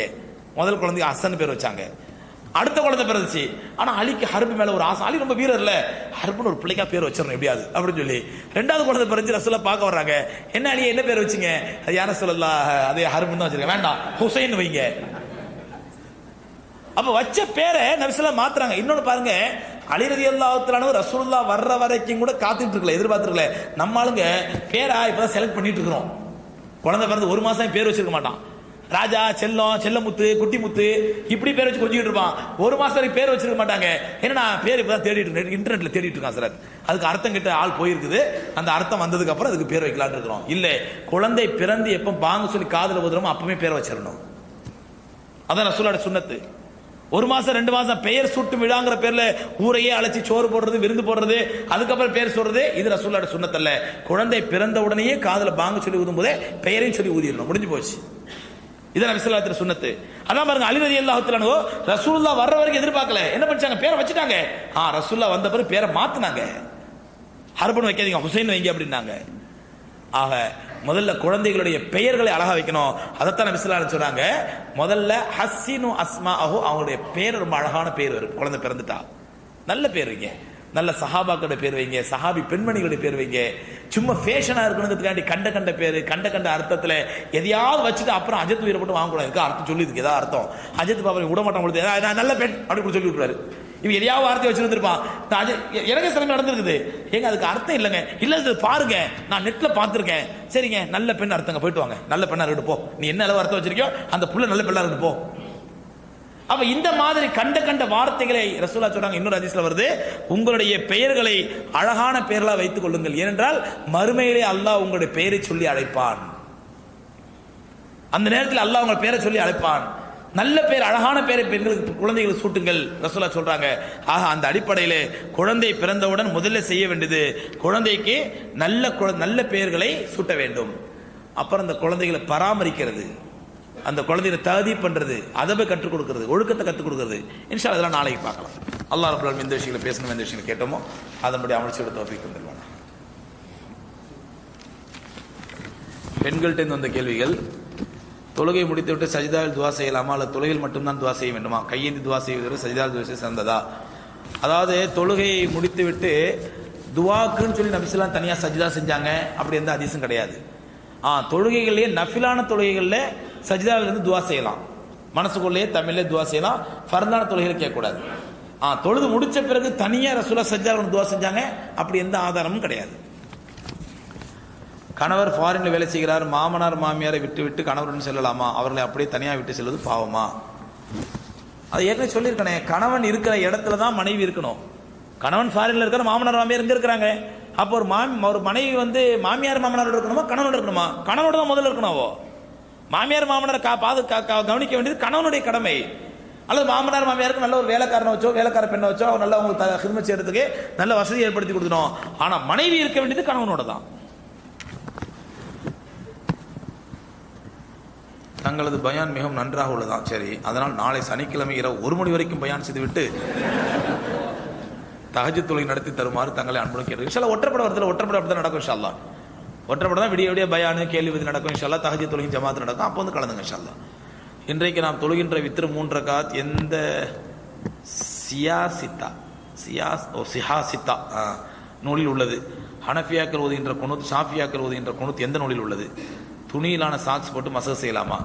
அதாவது இன்னைக்கு வித்திரு தொழுகிற முறை வந்து சிஹாசித்தால இல்லைங்க. முஸ்னத் முஸ்ததரக்கு ஹாக்கிம்லையும் முஸ்னத் அகமதுலையும் இருக்குது. வித்திரு தொழக்கூடிய முறை ஹதீஸ்ல ஆதாரம் இருக்குது. சகோதரி உங்கள் வீட்டு ஆம்பளை அனுப்பி வைங்க நான் வேணா ஷாலா எடுத்து கம்ப்யூட்டர் எடுத்து உங்களுக்கு கொடுத்து அனுப்புறேன் ஷாலா புதுப்பேட்டை தெற்கு கூவம் சாலையில் உள்ள மஸ்ஜித் இப்ராஹிம் பள்ளியில் ஒரு போர்டு வைத்துள்ளார்கள். இதில் இப்பள்ளி அகலு சுன்னத்துல் ஜமாத் பரேலவி கொள்கையை சார்ந்தது. இங்கு தௌஹித் ஜமாத் தப்லீக் ஜமாத் மற்றும் பரேலவிய கொள்கைக்கு எதிரானவர்கள் இங்கு தொழக்கூடாது என்று எழுதியுள்ளது. இப்பள்ளியில் சென்று நாம் தொழலாமா? அப்பள்ளியின் இமாமை பின்பற்றி தொழலாமா? நல்ல கேள்விங்க. அதாவது இது இப்போ பரையலிவிகளுக்கு இந்த அளவுக்கு தைரியம் வந்துருச்சு. தைரியம் திமிர் வந்துருச்சு. இது பரையலிவி பள்ளி முதல்ல சுன்ன ஜமா சொல்லி ஏமாத்திட்டு இருப்பாங்க. இப்போ இது பரேலவி பள்ளி அப்படின்னு போர்டு போடுற அளவுக்கு அவங்களுக்கு திமிரு வந்துருச்சு. எப்போ அவங்க வந்து தங்களை முஸ்லீம்ங்கிறத அடையாளம் பெண்கள் தானே வேற யாருமா பெண்கள் தானே வருது. பெண்கள் கேள்வி கேட்கறது தயவுசெய்து பின்னாடி பெண்கள் பகுதியில் எழுதி இருப்பாங்க லேடிஸ் சைடு சரி. இது ஆம்பளை எழுதுறது ரொம்ப நேரம் ஆகாது. இருந்தாலும் அதனால எப்போ அவங்க முஸ்லீம்கள்ங்கிற நிலையை மாற்றி நாங்கள் பரேலவிகள் அப்படின்னு ஓப்பனாக டிக்ளேர் பண்ணுறாங்களோ பரேலவிகளுடைய கொள்கை என்ன அப்படின்னா அல்லாஹ் ரசூலும் ஒன்று அல்லாஹ் எப்படி எல்லா இடங்களும் நிறைஞ்சிருக்கிறானோ அதே மாதிரி அல்லாஹ் ரசூலும் எல்லா இடங்களும் நிறைஞ்சிருக்கிறாங்க. அதே மாதிரி அல்லாவுடைய குதிரத் அல்லாவுடைய வல்லமை எல்லா இடத்துலையும் இருக்கிறது அல்லாஹ் ரசூலும் எல்லா இடத்துலையும் இருக்காங்க அதே மாதிரி அல்லாஹ் எப்படி நம்மளை கண்காணிச்சிட்டு இருக்காங்க மாதிரி அல்லாஹ் ரசூலும் கண்காணிச்சிட்டு இருக்கிறாங்க. இந்த மாதிரி இந்த பரேலவிகள் அத்வைத கொள்கையை சார்ந்தவர்கள் அல்லாஹ் அல்லாஹ் ரசூல் ஒன்று அல்லாஹ் கூறுகிற எல்லா தன்மையும் ரசூலுக்கு நினைக்கிறவங்க இது வரைக்கும் சுண்ணஜமா சுண்ணஜமா சொல்ற வரைக்கும் தப்பு இல்லை. சுண்ணஜமா சொல்லிட்டு இருக்காங்கன்னு சொல்லி எப்போ தங்களை பகிரங்கமா பரேலவிகள் அறிவிக்கிறாங்களோ அந்த பரேலவிகள் பள்ளியில பரேலவி இமாம் பின்னாடி தொழக்கூடாது. ஏன்னு சொன்னா நல்லா புரிஞ்சுங்க அவங்க தங்களை முஸ்லீம்னு சொல்லிக்கல. அவங்க தங்களை முஸ்லீம்னு சொல்லிக்கல தங்களை பரேலவின்னு சொல்லிக்கிறாங்க. பரேலவி என்பது அவர்கள் அல்லாவுடைய அத்தனை தன்மைகள் அல்லாஹ் ரசூலுக்குள்ளதா நம்புறவங்க.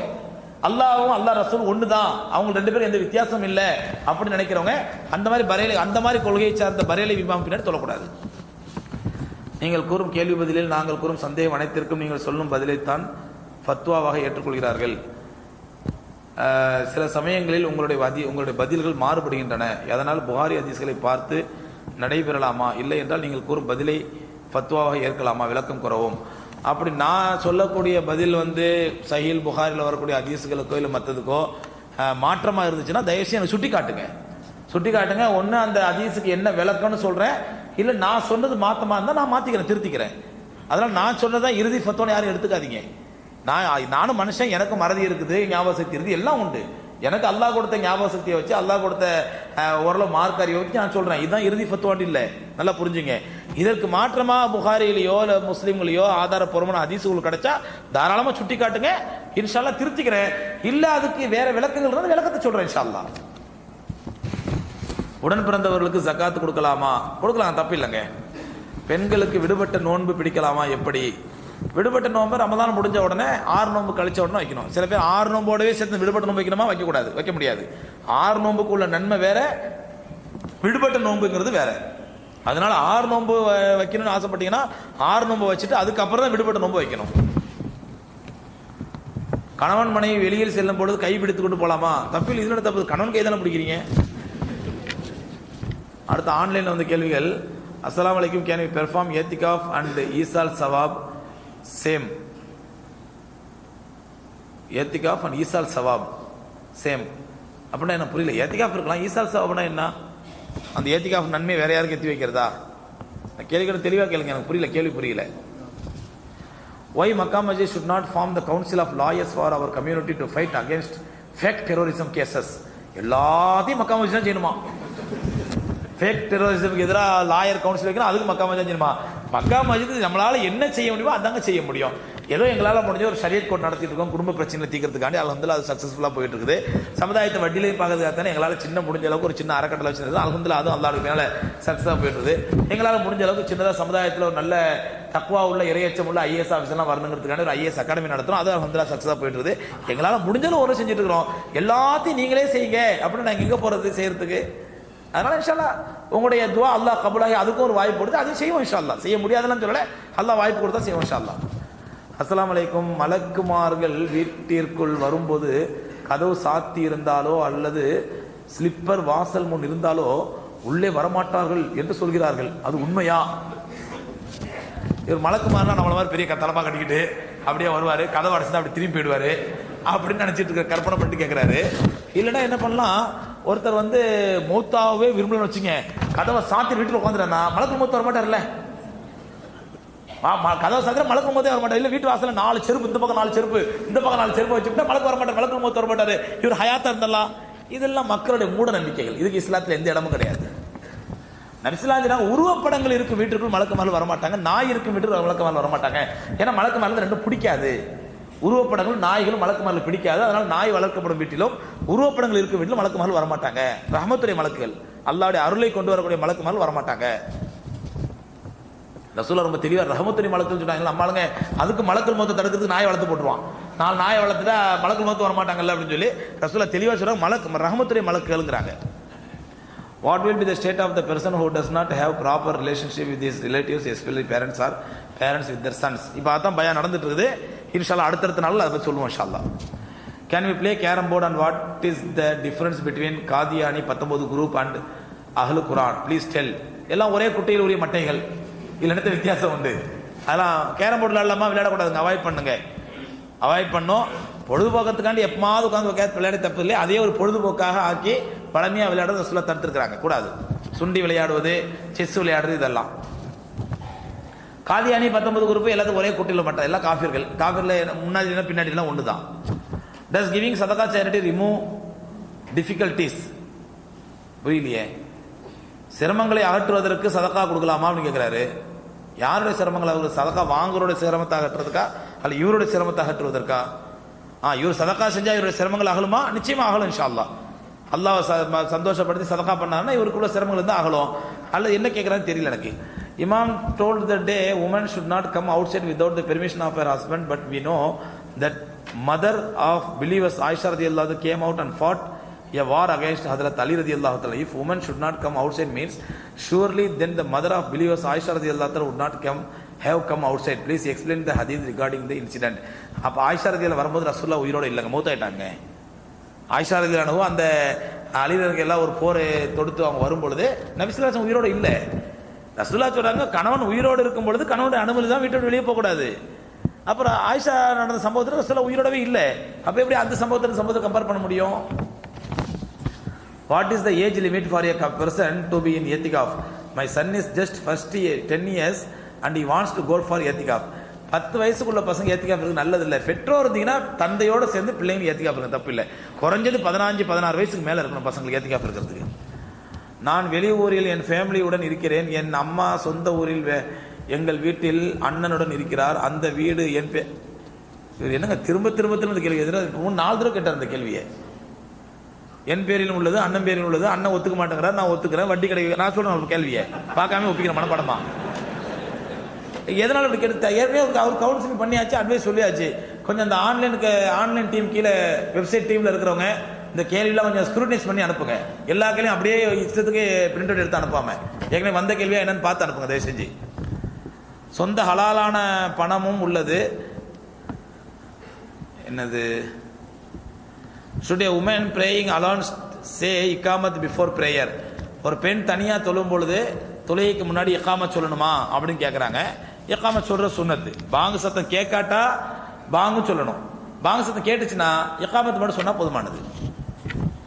அஸ்லாம் வலைக்கும் என் உறவினருக்கு திருமணம் ஆகி குழந்தை இல்லை. அவர்களை மற்ற உறவினர்கள் குறையாக பேசுகிறார்கள். அவர்களுக்கு எப்படி அட்வைஸ் செய்ய? என்ன அட்வைஸ் பண்ணுறது அல்லாஹ் குழந்தை தர்றது குழந்தை தராமல் இருக்குது. அல்லாவுடைய நாட்டம் அல்லாஹ் குரானில் சொல்கிறான் எஜாலு மையஷா ஓ இனாசன் அல்லாஹ் நாடியவர்களுக்கு பெண் குழந்தைகளை கொடுக்கின்றான். நாடியவர்களுக்கு ஆண் குழந்தைகள் கொடுக்கின்றான். ஓ எஜாலு மையஷாவோ ஓ அகீமா. அவன் நாடியவர்களை குழந்தை பெறாத மறுபடியும் ஆக்கிடுறான். அப்படின்னு அல்லாஹ் சொல்கிறான் குரானில் அப்போ குழந்தை தருவது என்பது குழந்தை பிறவைப்பது என்பது அல்லாட நாட்டம். இப்போ அல்லாட துவா செஞ்சுட்டே இருங்க அல்லாஹ் நாடுனா கிடைக்கும் இன்ஷா இல்லைன்னா அதுக்காண்டி பெரிய குரலாம் ஒன்றும் கிடையாது. அடுத்து கோயத்திலிருந்து கேட்டிருக்காரு வெதர் we செய்த சூரா அலாங் வித் இமாமின் நமாஸ் ஓதக்கூடாதுங்க. இமாம் ஓதும் பொழுது நம்ம பின்னாடியே ஓதிக்கிட்டே போகலாமா அப்படிங்கிறது அவாய்ட் பண்ண முடிஞ்ச வரைக்கும். ஏன்னா நபிசல்லா அலிஸ்லாம் காலத்தில் வந்து ரசூல்லா குரான் ஓதும் பின்னாடி சஹாபாக்கள் ஓதுவாங்க. அந்த ஆயத்துகள் மனப்படாமல் ஆயத்தில் ஓதுவாங்க. ரசூல்லா சொன்னாங்க வாயில் ஒரு நெருப்பு துண்டு போட்டால் சும்மா இருக்கக்கூடாதா? பின்னாடி பின்னாடி ஓதுறீங்களே அப்படின்னு ரசூல்லா கண்டிப்பாங்க. அதனால இமாம் போதும் நம்மளும் பின்னாடியே ஓதிட்டு வரக்கூடாது. காது தாழ்த்து கேட்கணும். இதா குரியல் குரான் ஃபஸ்ட் தமிழ் லோ அனுசித்தோ இமாம் குரா குரான் ஓதப்பட்டால் காது தாழ்த்து கேட்டு அமைதிக்காருங்கள் அப்படின்னு அல்லாட உத்தரவே. அதனால குரான் ஓதப்படும் போது நம்ம அமைதியாக காது தாழ்த்தி கேட்கணும். யூஎஸ்ல இருந்து கேட்கிறாரு இன் சூரா காஃபாயா nineteen the why the word ஒல் எத்தலஃபத் ஒல் எத்தலத்தஃப் is written in bold in the holy Quran some explanation is written in Arabic in the side regarding this but I don't understand அதாவது சூரத்தில் காஃபில் பத்தொன்பதாவது ஆயத்துல ஒல் எத்தலத்தஃப் அப்படிங்கிற வார்த்தை வந்து கொஞ்சம் போல்டாக இருக்கும். அது என்னன்னு சொன்னால் மொத்த குரானுடைய நடு வார்த்தை அது. மொத்த குரான் இந்த பக்கமும் இந்த பக்கம் பார்த்தா மொத்த குரானுடைய வார்த்தைகளை கவனிச்சு அது நடு வார்த்தை அது. எண்ணிக்கை அடிப்படையில். அதனால அந்த எழுத்தை மட்டும் கொஞ்சம் போல்டாக போட்டிருப்பாங்க. வேற எந்த ஸ்பெஷாலிட்டி கிடையாது அந்த வார்த்தைக்கு. இமாம் ஜமாத்தில் பாதியில் வந்து சேரும் பொழுது விடுபட்ட முதல் ரெண்டு ரக்காத்தில் அல்ஹம்து சூரா துணை சூரா ஓத வேண்டுமா? அல்லது அல்ஹம்து சுரா மட்டும் ஓதினால் போதுமா? அதாவது நபிசல்லான்னு சொல்றாங்க நீங்க இமாம் ஜமாத்துல சேரும் பொழுது இமாமோடு சேர்ந்து தொழுதுட்டு நீங்கள் முன்னால் விட்ட தொழுகையை பின்னால் எழுந்து தொழுங்கள் அப்படிங்கிறாங்க. அப்ப முன்னாடி நம்ம ஃபர்ஸ்ட் ரக்காத்து ரெண்டாவது ரக்காத்து விட்டுருக்கிறதுனால அதைத்தான் இப்ப ரிப்பீட் பண்ண போறோம். ஸோ ஃபர்ஸ்ட் ரக்காத்து ரெண்டு ரக்காத்துல ரெண்டாவது ரக்காத்துல எப்படி நம்ம சின்ன சூறா ஓதணுமோ அதே மாதிரி ரிப்பீட் பண்ற சூறாலையும் ஓதணும் அது. நபிசலான்னு சொல்றாங்க. ஈது செலிப்ரேட் என்ற பெயரில் city centre express avenue theatre தியேட்டர்னு போறாங்க. நம்ம மக்கள் ஈது பெருநாள் எப்படி கொண்டாட வேண்டும்? உங்கள் அட்வைஸ்க்கு மக்கள் உங்கள் உங்கள் அட்வைஸ் டு மக்கள் ஈத் அன்று செய்ய வேண்டிய முக்கியமான அமல்கள் என்ன? அது எக்ஸ்பிரஸ் அவென்யூக்கு போகிறாங்களா அங்கே சிட்டி சென்டருக்கு போகிறாங்களா சினிமாவுக்கு போகிறோம் ஏன்னா ரமதான செஞ்ச நன்மை பூரா மொத்தமாக கொண்டு தொலைக்கணும்ல. ரமதான செஞ்ச நிறைய நல்ல அமல் அது மொத்தத்தையும் கொண்டு தொலைக்கணும்னாக்கா இந்த மாதிரி இடத்துல போய் தொலைக்க முடியும். எங்கே போய் தொலைக்க முடியும். அதனால அங்கே போகிறாங்க படுத்துறது மற்றபடி இன்ஷால்லா பெருநாளில் செய்ய வேண்டிய நல்ல அமல்கள் காரியங்கள் என்னங்கிறத இன்ஷால்லா அந்த பெருநாள் டைமில் சொல்லுவோம் இன்ஷால்லா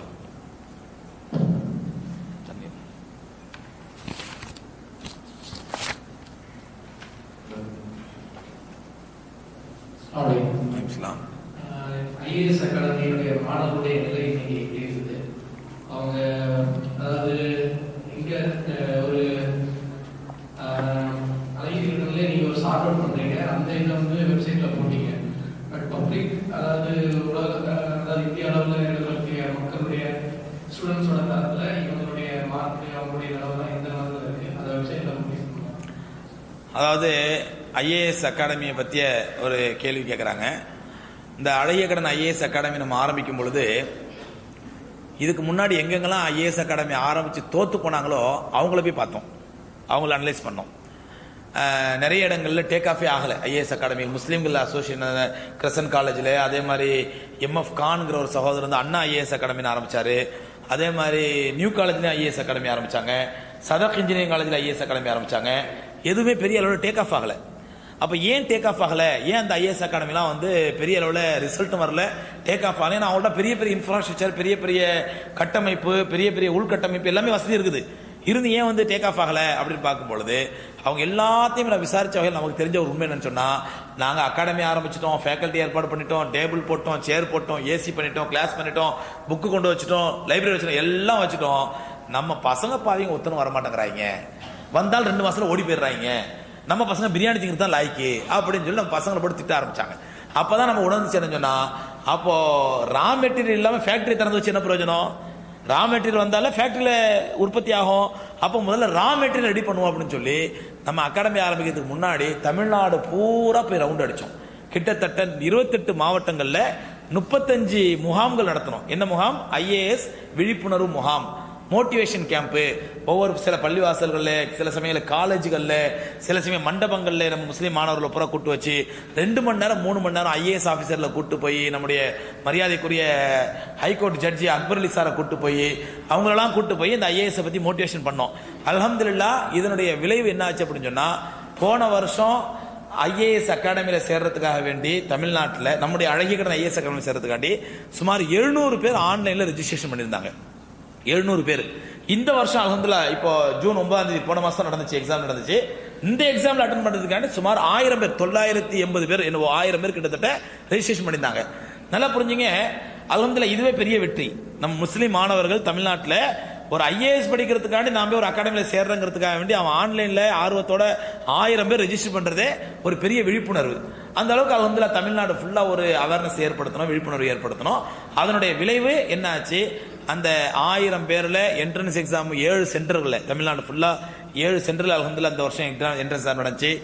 திருநெல்வேலியில் சதகத்துலாப்பா காலேஜ் மதுரை வக்போர்டு கா- மதுரை வக்போர்டு காலேஜ் நடத்தப்பட்ட அந்த வருஷம் ஒரு ஸ்கூலில் சாராஸ்ங்கிற ஸ்கூலில் நடந்துச்சு. அதே மாதிரி திருச்சியில் ஜமால் முகமது காலேஜ் மெட்ராஸில் நியூ காலேஜ் மேல் விஷாரத்தில் சி அப்துல் ஹக்கீம் காலேஜ் அப்புறம் தருமபுரியில் ஹான் அகாடமின்ற ஒரு இடத்துல அந்த- ஹான் ஸ்டடி சென்டரில் அப்புறம் கோயம்புத்தூரில் இஸ்லாமியா ஸ்கூலில் இந்த ஏழு இடங்களில் என்ட்ரன்ஸ் எக்ஸாம் நடந்துச்சு. என்ட்ரன்ஸ் எக்ஸாமுக்கு அலமதுல்லா எங்களுக்கு கொஸ்டின் பேப்பர் டெல்லியிலேருந்து ப்ரிப்பேர் பண்ணி வந்துச்சு. அதே மாதிரி இன்ட்ரிக்கும் ஆஃபீஸர் டெல்லியிலேருந்து வந்தாங்க. அங்கே அவங்க பல ஐஏஎஸ் உருவாக்குனவங்க அவங்களே வந்து இன்ட்ரி எடுத்தாங்க. அந்த இன்ட்ரிவில் என்ட்ரன்ஸ் எக்ஸாமில் பாஸ் ஆனவங்களில் நூற்றி முப்பது பேரை ரேங்க் வைஸ் செலக்ட் பண்ணோம்.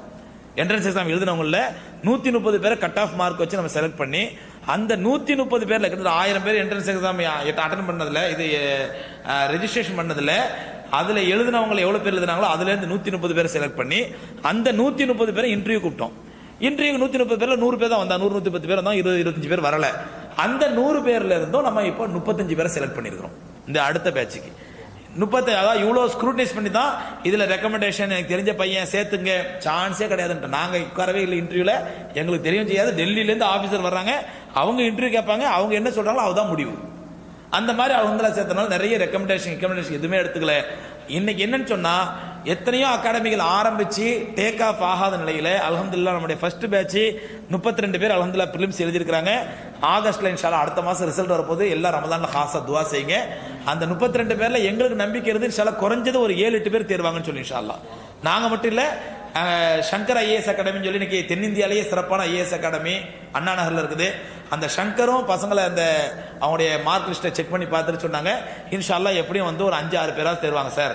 ஏன் ஆறு ஏழு பேராவது தேர்வாங்க? இந்த ஆறு ஏழு பேர்ல இன்ஷால்லா ஒரு நாலஞ்சு பேராவது இன்டர்வியூக்கு போவாங்க. இன்டர்வியூல போய் கண்டிப்பா ஒன்னு ரெண்டு பேராக சில ஆபீசரா வருவாங்கன்னு இருக்கிறாங்க இன்ஷால்லா நமக்கு நம்பிக்கை இருக்குது நீங்களும் துவா செய்யுங்க. அடுத்த ஆகஸ்ட்ல இன்ஷால்லா ரிசல்ட் வரப்போகுது. இந்த பேட்ச் இந்த புது பேட்ச் இப்பதான் ரமதான்ல தான் ஆரம்பிச்சிருக்கிறோம். இப்ப முப்பத்தஞ்சு பேர் படிச்சுட்டு இருக்கிறாங்க இவங்களுக்கு எக்ஸாம் அடுத்த ஆகஸ்ட்ல தான். இந்த எப்போ மே மாசம் தான் வைப்பாங்க. இந்த வருஷம் அதையும் மாத்திட்டாங்க. அடுத்த ஆகஸ்ட்ல தான் எக்ஸாம் அந்த அடுத்த ஆகஸ்ட்ல இன்ஷால்லா எக்ஸாம் எழுதும் போது இவங்களோட ரிசல்ட் தெரியும் இன்ஷால்லா எனிவே அல்லாஹ்வுடைய பெரிய கிருபை ஒரு எங்களுக்கே ஒரு பெரிய ஹோப் இருக்குது நம்பிக்கை இருக்குது.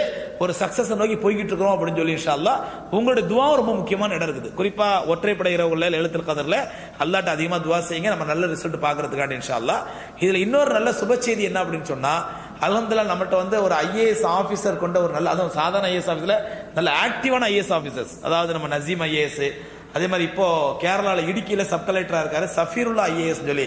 அவரும் நம்ம சேலத்துக்காரரு.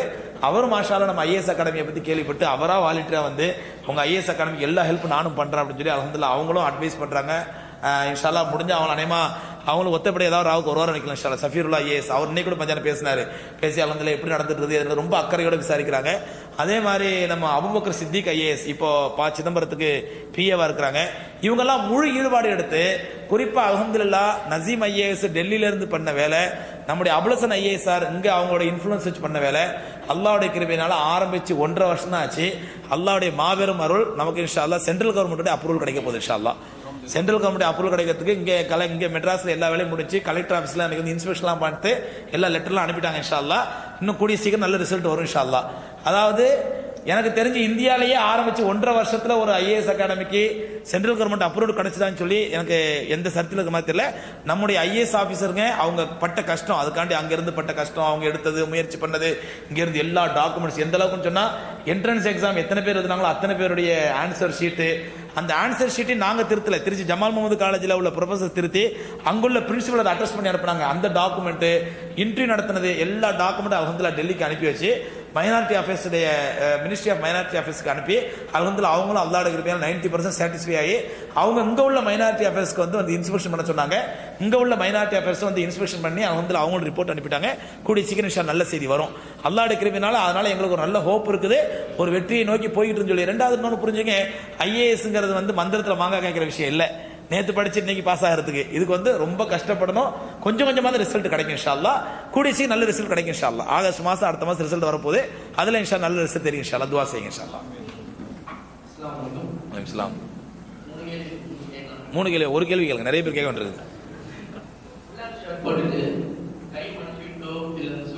சொல்லலாமா ஃபுல் ஹேண்ட் போட்டுக்கிட்டு இப்படி கஃப் தான் போடணும் இல்ல மடிச்சு வச்சு தொழலாமா?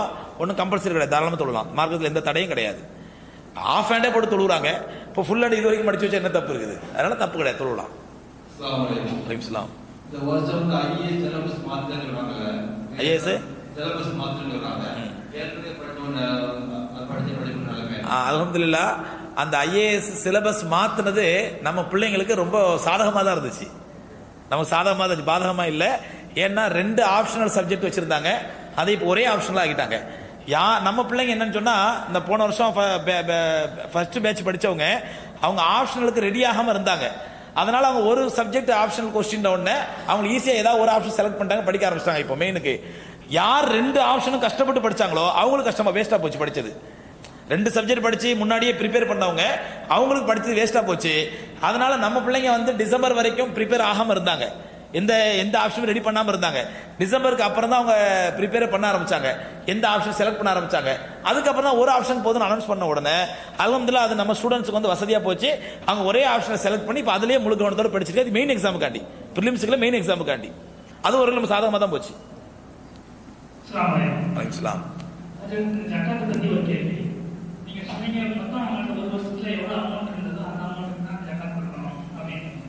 இந்த source of income salary so அப்படிங்கும்போது சேலரி வந்து மாசம் மாசம் வேரி ஆகிட்டே வரும்.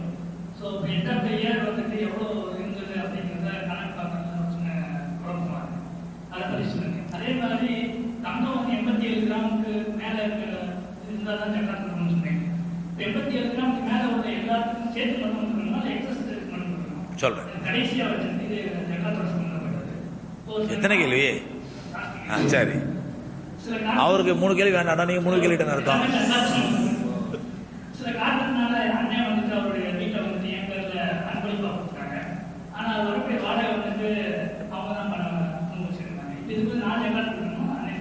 சொல்றேன்.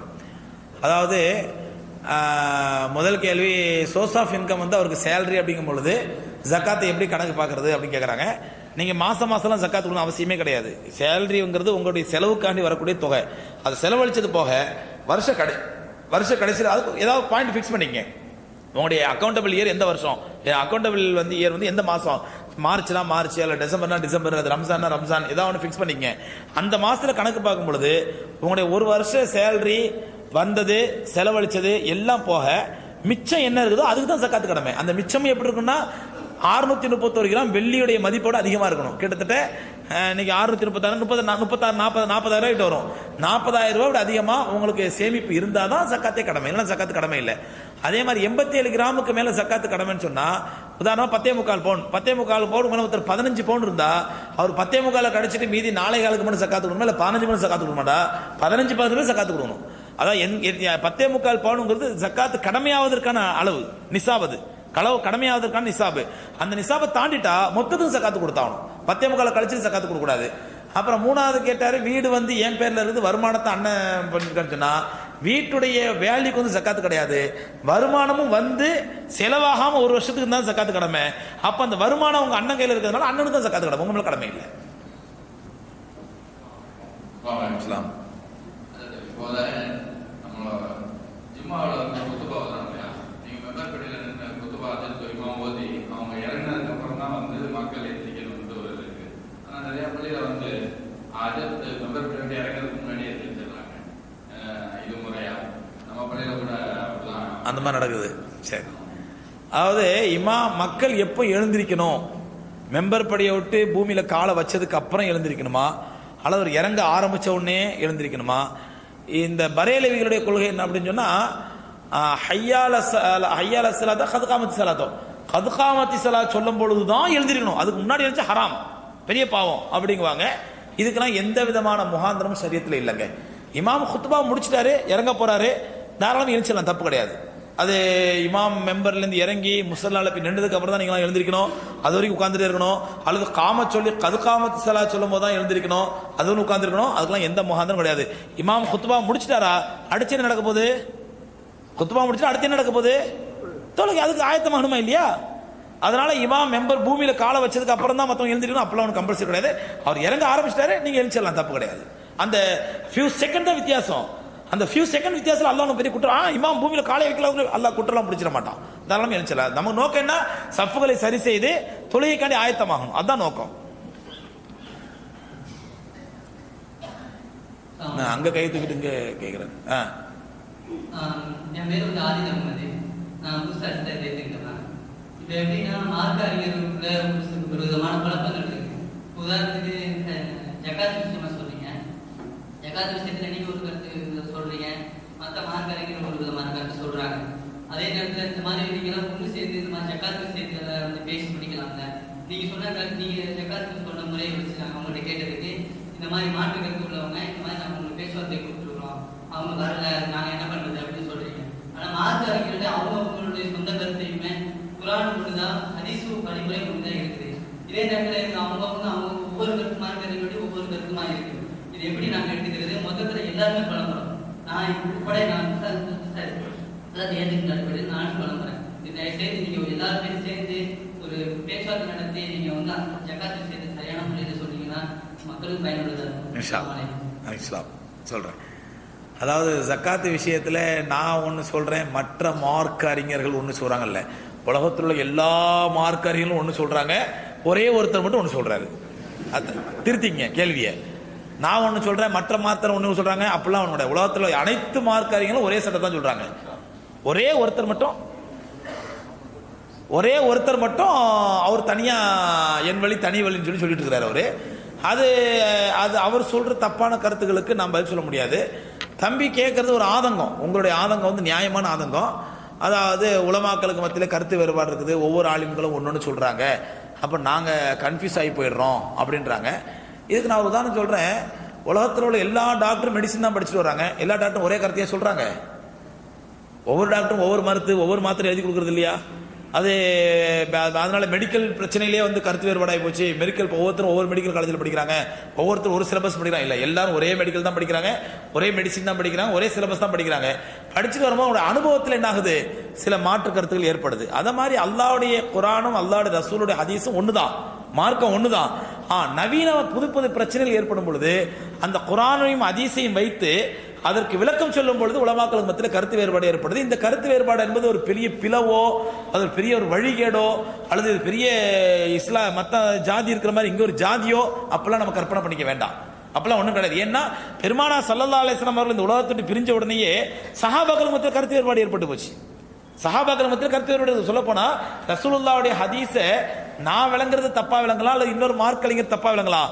ஆனா சஹாபாக்கள் விளங்கவும் நிச்சயமா தப்பா விளங்கியிருக்க மாட்டாங்க. அவங்களுக்கு மத்தியிலே கருத்து வேறுபாடு ஏற்பட்டுச்சு.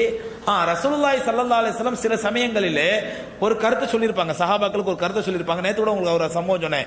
ஒரு சாபி வந்து நான் நோன்பு வச்சுட்டு மனைவியை முத்தமிடலாமான்னு சொல்ல முத்தமிடலான்னாங்க இன்னொரு சாவி முத்தமிட கூடாதுன்னாங்க அப்ப இதை பார்த்துட்டு ரசூல்லாவே முரண்பட்டு போயிட்டாங்க. நௌதுபில்லா நேரத்துக்கு ஒன்று மாத்தி மாத்தி பேசிட்டு இருக்காங்க அப்படின்னு சொல்ல முடியுமா? அந்த கேட்ட சஹாபியுடைய சூழ்நிலை கேட்டவா ரசூல்லா சொன்னது இப்போ அந்த முத்தமிடலாம்ங்கிற கருத்தை அந்த சஹாபி வந்து கேட்கும் பொழுது எத்தனை சஹாபாக்கள் இருந்தாங்களோ அவங்க பூரா பின்னாடி அறிவிப்பாங்க. ரசூல்லா ஒரு வாழ ஒரு சஹாபி வந்து கேட்டாரு முத்தமிடலாமான்னு சொல்லி நோன்பு வச்சுக்கிட்டு மனைவியை ரசுல்லா முத்தமிடலாம்னு சொல்லிட்டாங்க. அந்த அதிசயம் நமக்கு ஆதாரப்பூர்வமா வந்திருக்கும். இந்த முத்தமிட கூடாதுன்னு சொல்லி எந்த எத்தனை அந்த சபையில் எத்தனை சகாபாக்கள் இருந்தாங்களோ அவங்க பூரா அறிவிப்பாங்க முத்தமிட கூடாது அப்படின்னு சொல்லி. ஸோ இது சஹாபாக்களுக்கு மத்தியில கருத்து வேறுபாடு ஏற்படுச்சுன்னு அர்த்தம் இல்லை. ஆ முஹத்தீஸ்கள் இதெல்லாம் தத்பீக் பண்றாங்க. இது இது சமத்துவப்படுத்துறாங்க. இப்படி முதல்ல வந்த சஹாபி இந்த வயசு கம்மியானவர்.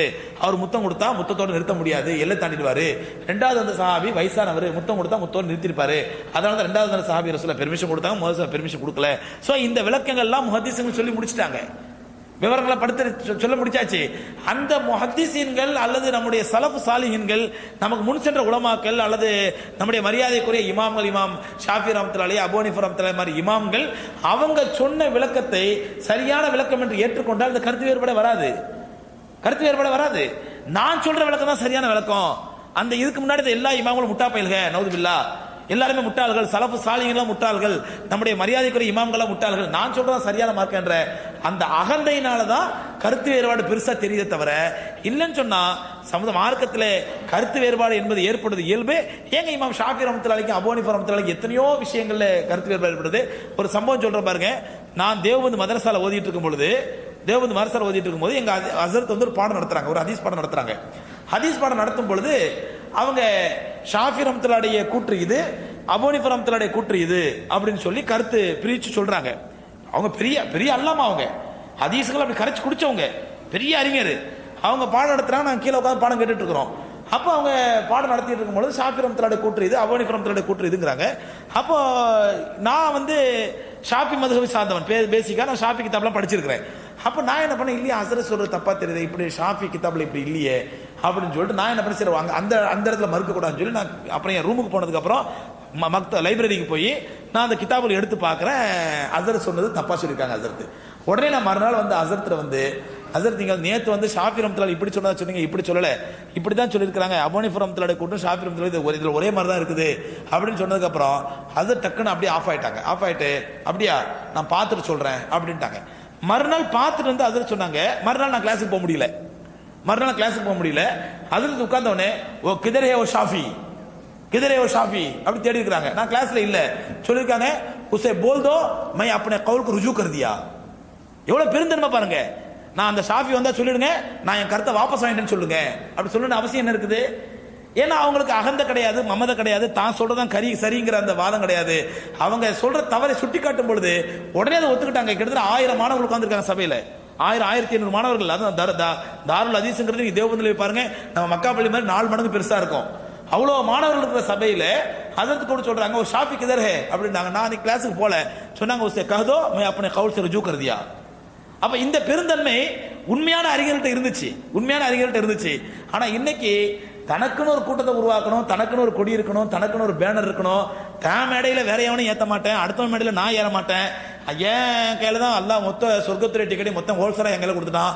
நான் அதை வந்து ரீட்டைல வித்துட்ருக்குறேன் அப்படின்னு நினைக்கிறவன் வந்து எப்படி ஹக்க சொல்ல முடியும்? அவங்க கூப்பிடுறது உட்காந்து பேசுறது கூப்பிடல. பகிரங்க விவாதத்துக்கு வர தயாரா? இது ஷைத்தானுடைய வேலையாச்சே. உட்காந்து பேச கூப்பிட்டா போலாம் தாராளமா. வாங்க உட்காந்து பேசுவோம். உங்க கருத்து என்ன என் கருத்து என்ன? உட்காந்து பேசுவோம். இல்ல பகிரங்க விவாதத்துக்கு வர தயாரா? பகிர பகிரங்க விவாதத்துக்கு எந்த நல்ல ஆளையும் போக மாட்டாங்க. எந்த நல்ல ஆளுமும் ஷைத்தானுடைய வேலைக்கு போக மாட்டாங்க. ஏன்னா பகிரங்கவாதம் நடத்தது ஷைத்தானுடைய வேலை. ஆ உட்காந்து மனசு விட்டு பேசலாம். மார்க் என்னங்க சொல்றது? உங்களோட கருத்து என்னங்க? எங்களுடைய கருத்து என்னங்க? ஒரு இடத்துல உட்காந்து பேசுவாங்க. அப்படின்னா தாராளமா போலாம். அவங்க பகிரங்கவாதத்துக்கு கொடுறது அதையும் பெருமையா சொல்றாங்க. நாங்கள் பகிரங்கவாதத்துக்கு அழைத்தோம். சம்சுதீன் காசி பின்னங்கால் பிடரியில் அடிக்க பயந்து ஓடினார். அவனுடைய வாசகங்கள் இதெல்லாம். பின்னங்கால் பிடரியில் அடிக்க பயந்து ஓடிதாராம். ஓடி ஒளிந்தாராம். அவனுடைய வாத்துக்கு இப்படி எல்லாம் சொல்றோம் என்னத்தை பேசி என்னத்தை ஜெயிக்க முடியும்? ஹைர், எல்லாருக்கும் அல்லாஹ் ஹிதாயத்து துவாசி வருஷா அல்லாஹ் எனவே இந்த கருத்து வேறுபாடு என்பது மார்க்கத்துல பெரிய ஒரு பிளவோ பெரிய பாவமோ பெரிய மோசம் அப்படி இல்லை. சஹாபாக்களுக்கு மத்தியிலே கருத்து வேறுபாடு ஏற்பட்டுச்சு. கிராமத்தினாலும் இருக்கத்தான் செய்யும் கருத்து வேறுபாடு. வலைக்கம் சலாம்.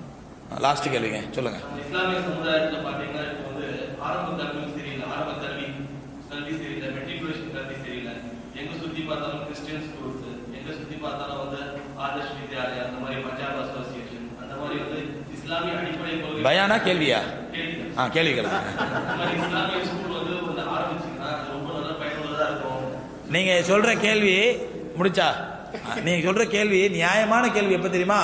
ஒரு அஞ்சு வருஷத்துக்கு முன்னாடி பத்து வருஷத்துக்கு முன்னாடி. இப்ப அந்த நிலைமை இல்ல. அல்ஹம்துலில்லாஹ் மெட்ராஸ்ல தேவையான அளவுக்கு இஸ்லாமிய ஸ்கூல்கள் வந்துட்டு இருக்குது இப்போ. நீங்க மெட்ராஸ்ல?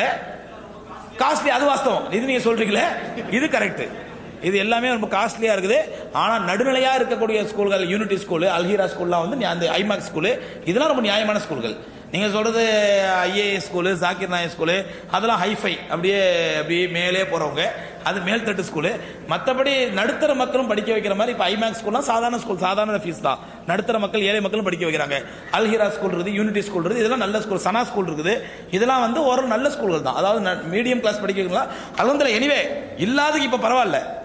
ஒரு அஞ்சு பத்து வருஷத்துக்கு முன்னாடி உள்ள நிலைமைக்கு இப்போ அலமதுல்லா தம் மெட்ராஸில் நிறைய இஸ்லாமிக் ஸ்கூல் வந்துட்டு இருக்குது இன்ஷால்லா இனிமேலும் வரும் இன்ஷா அல்லாஹ் கண்டிப்பாக வரும் இன்ஷா அல்லா அல்லாஹ் ரபுல்லான் இந்த விஷயங்களை பேசணும் இந்த விஷயங்களை கேட்டோமோ அதன்படி அமல் செய்து தோக்கி தந்தல்வானாக.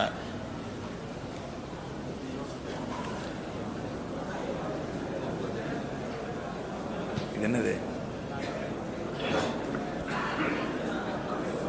ஏதோ அவங்க போட்டுருக்காங்க. இதெல்லாம் நம்ம பெருசுப்படுத்த சுபானல்லா அப்படி அல்லாஹ் பிஹம்தி சுபானக் அல்லாஹும் பிஹம்திக்க அஷ்ஹது அல்லா இலாஹ இல்லா அன்த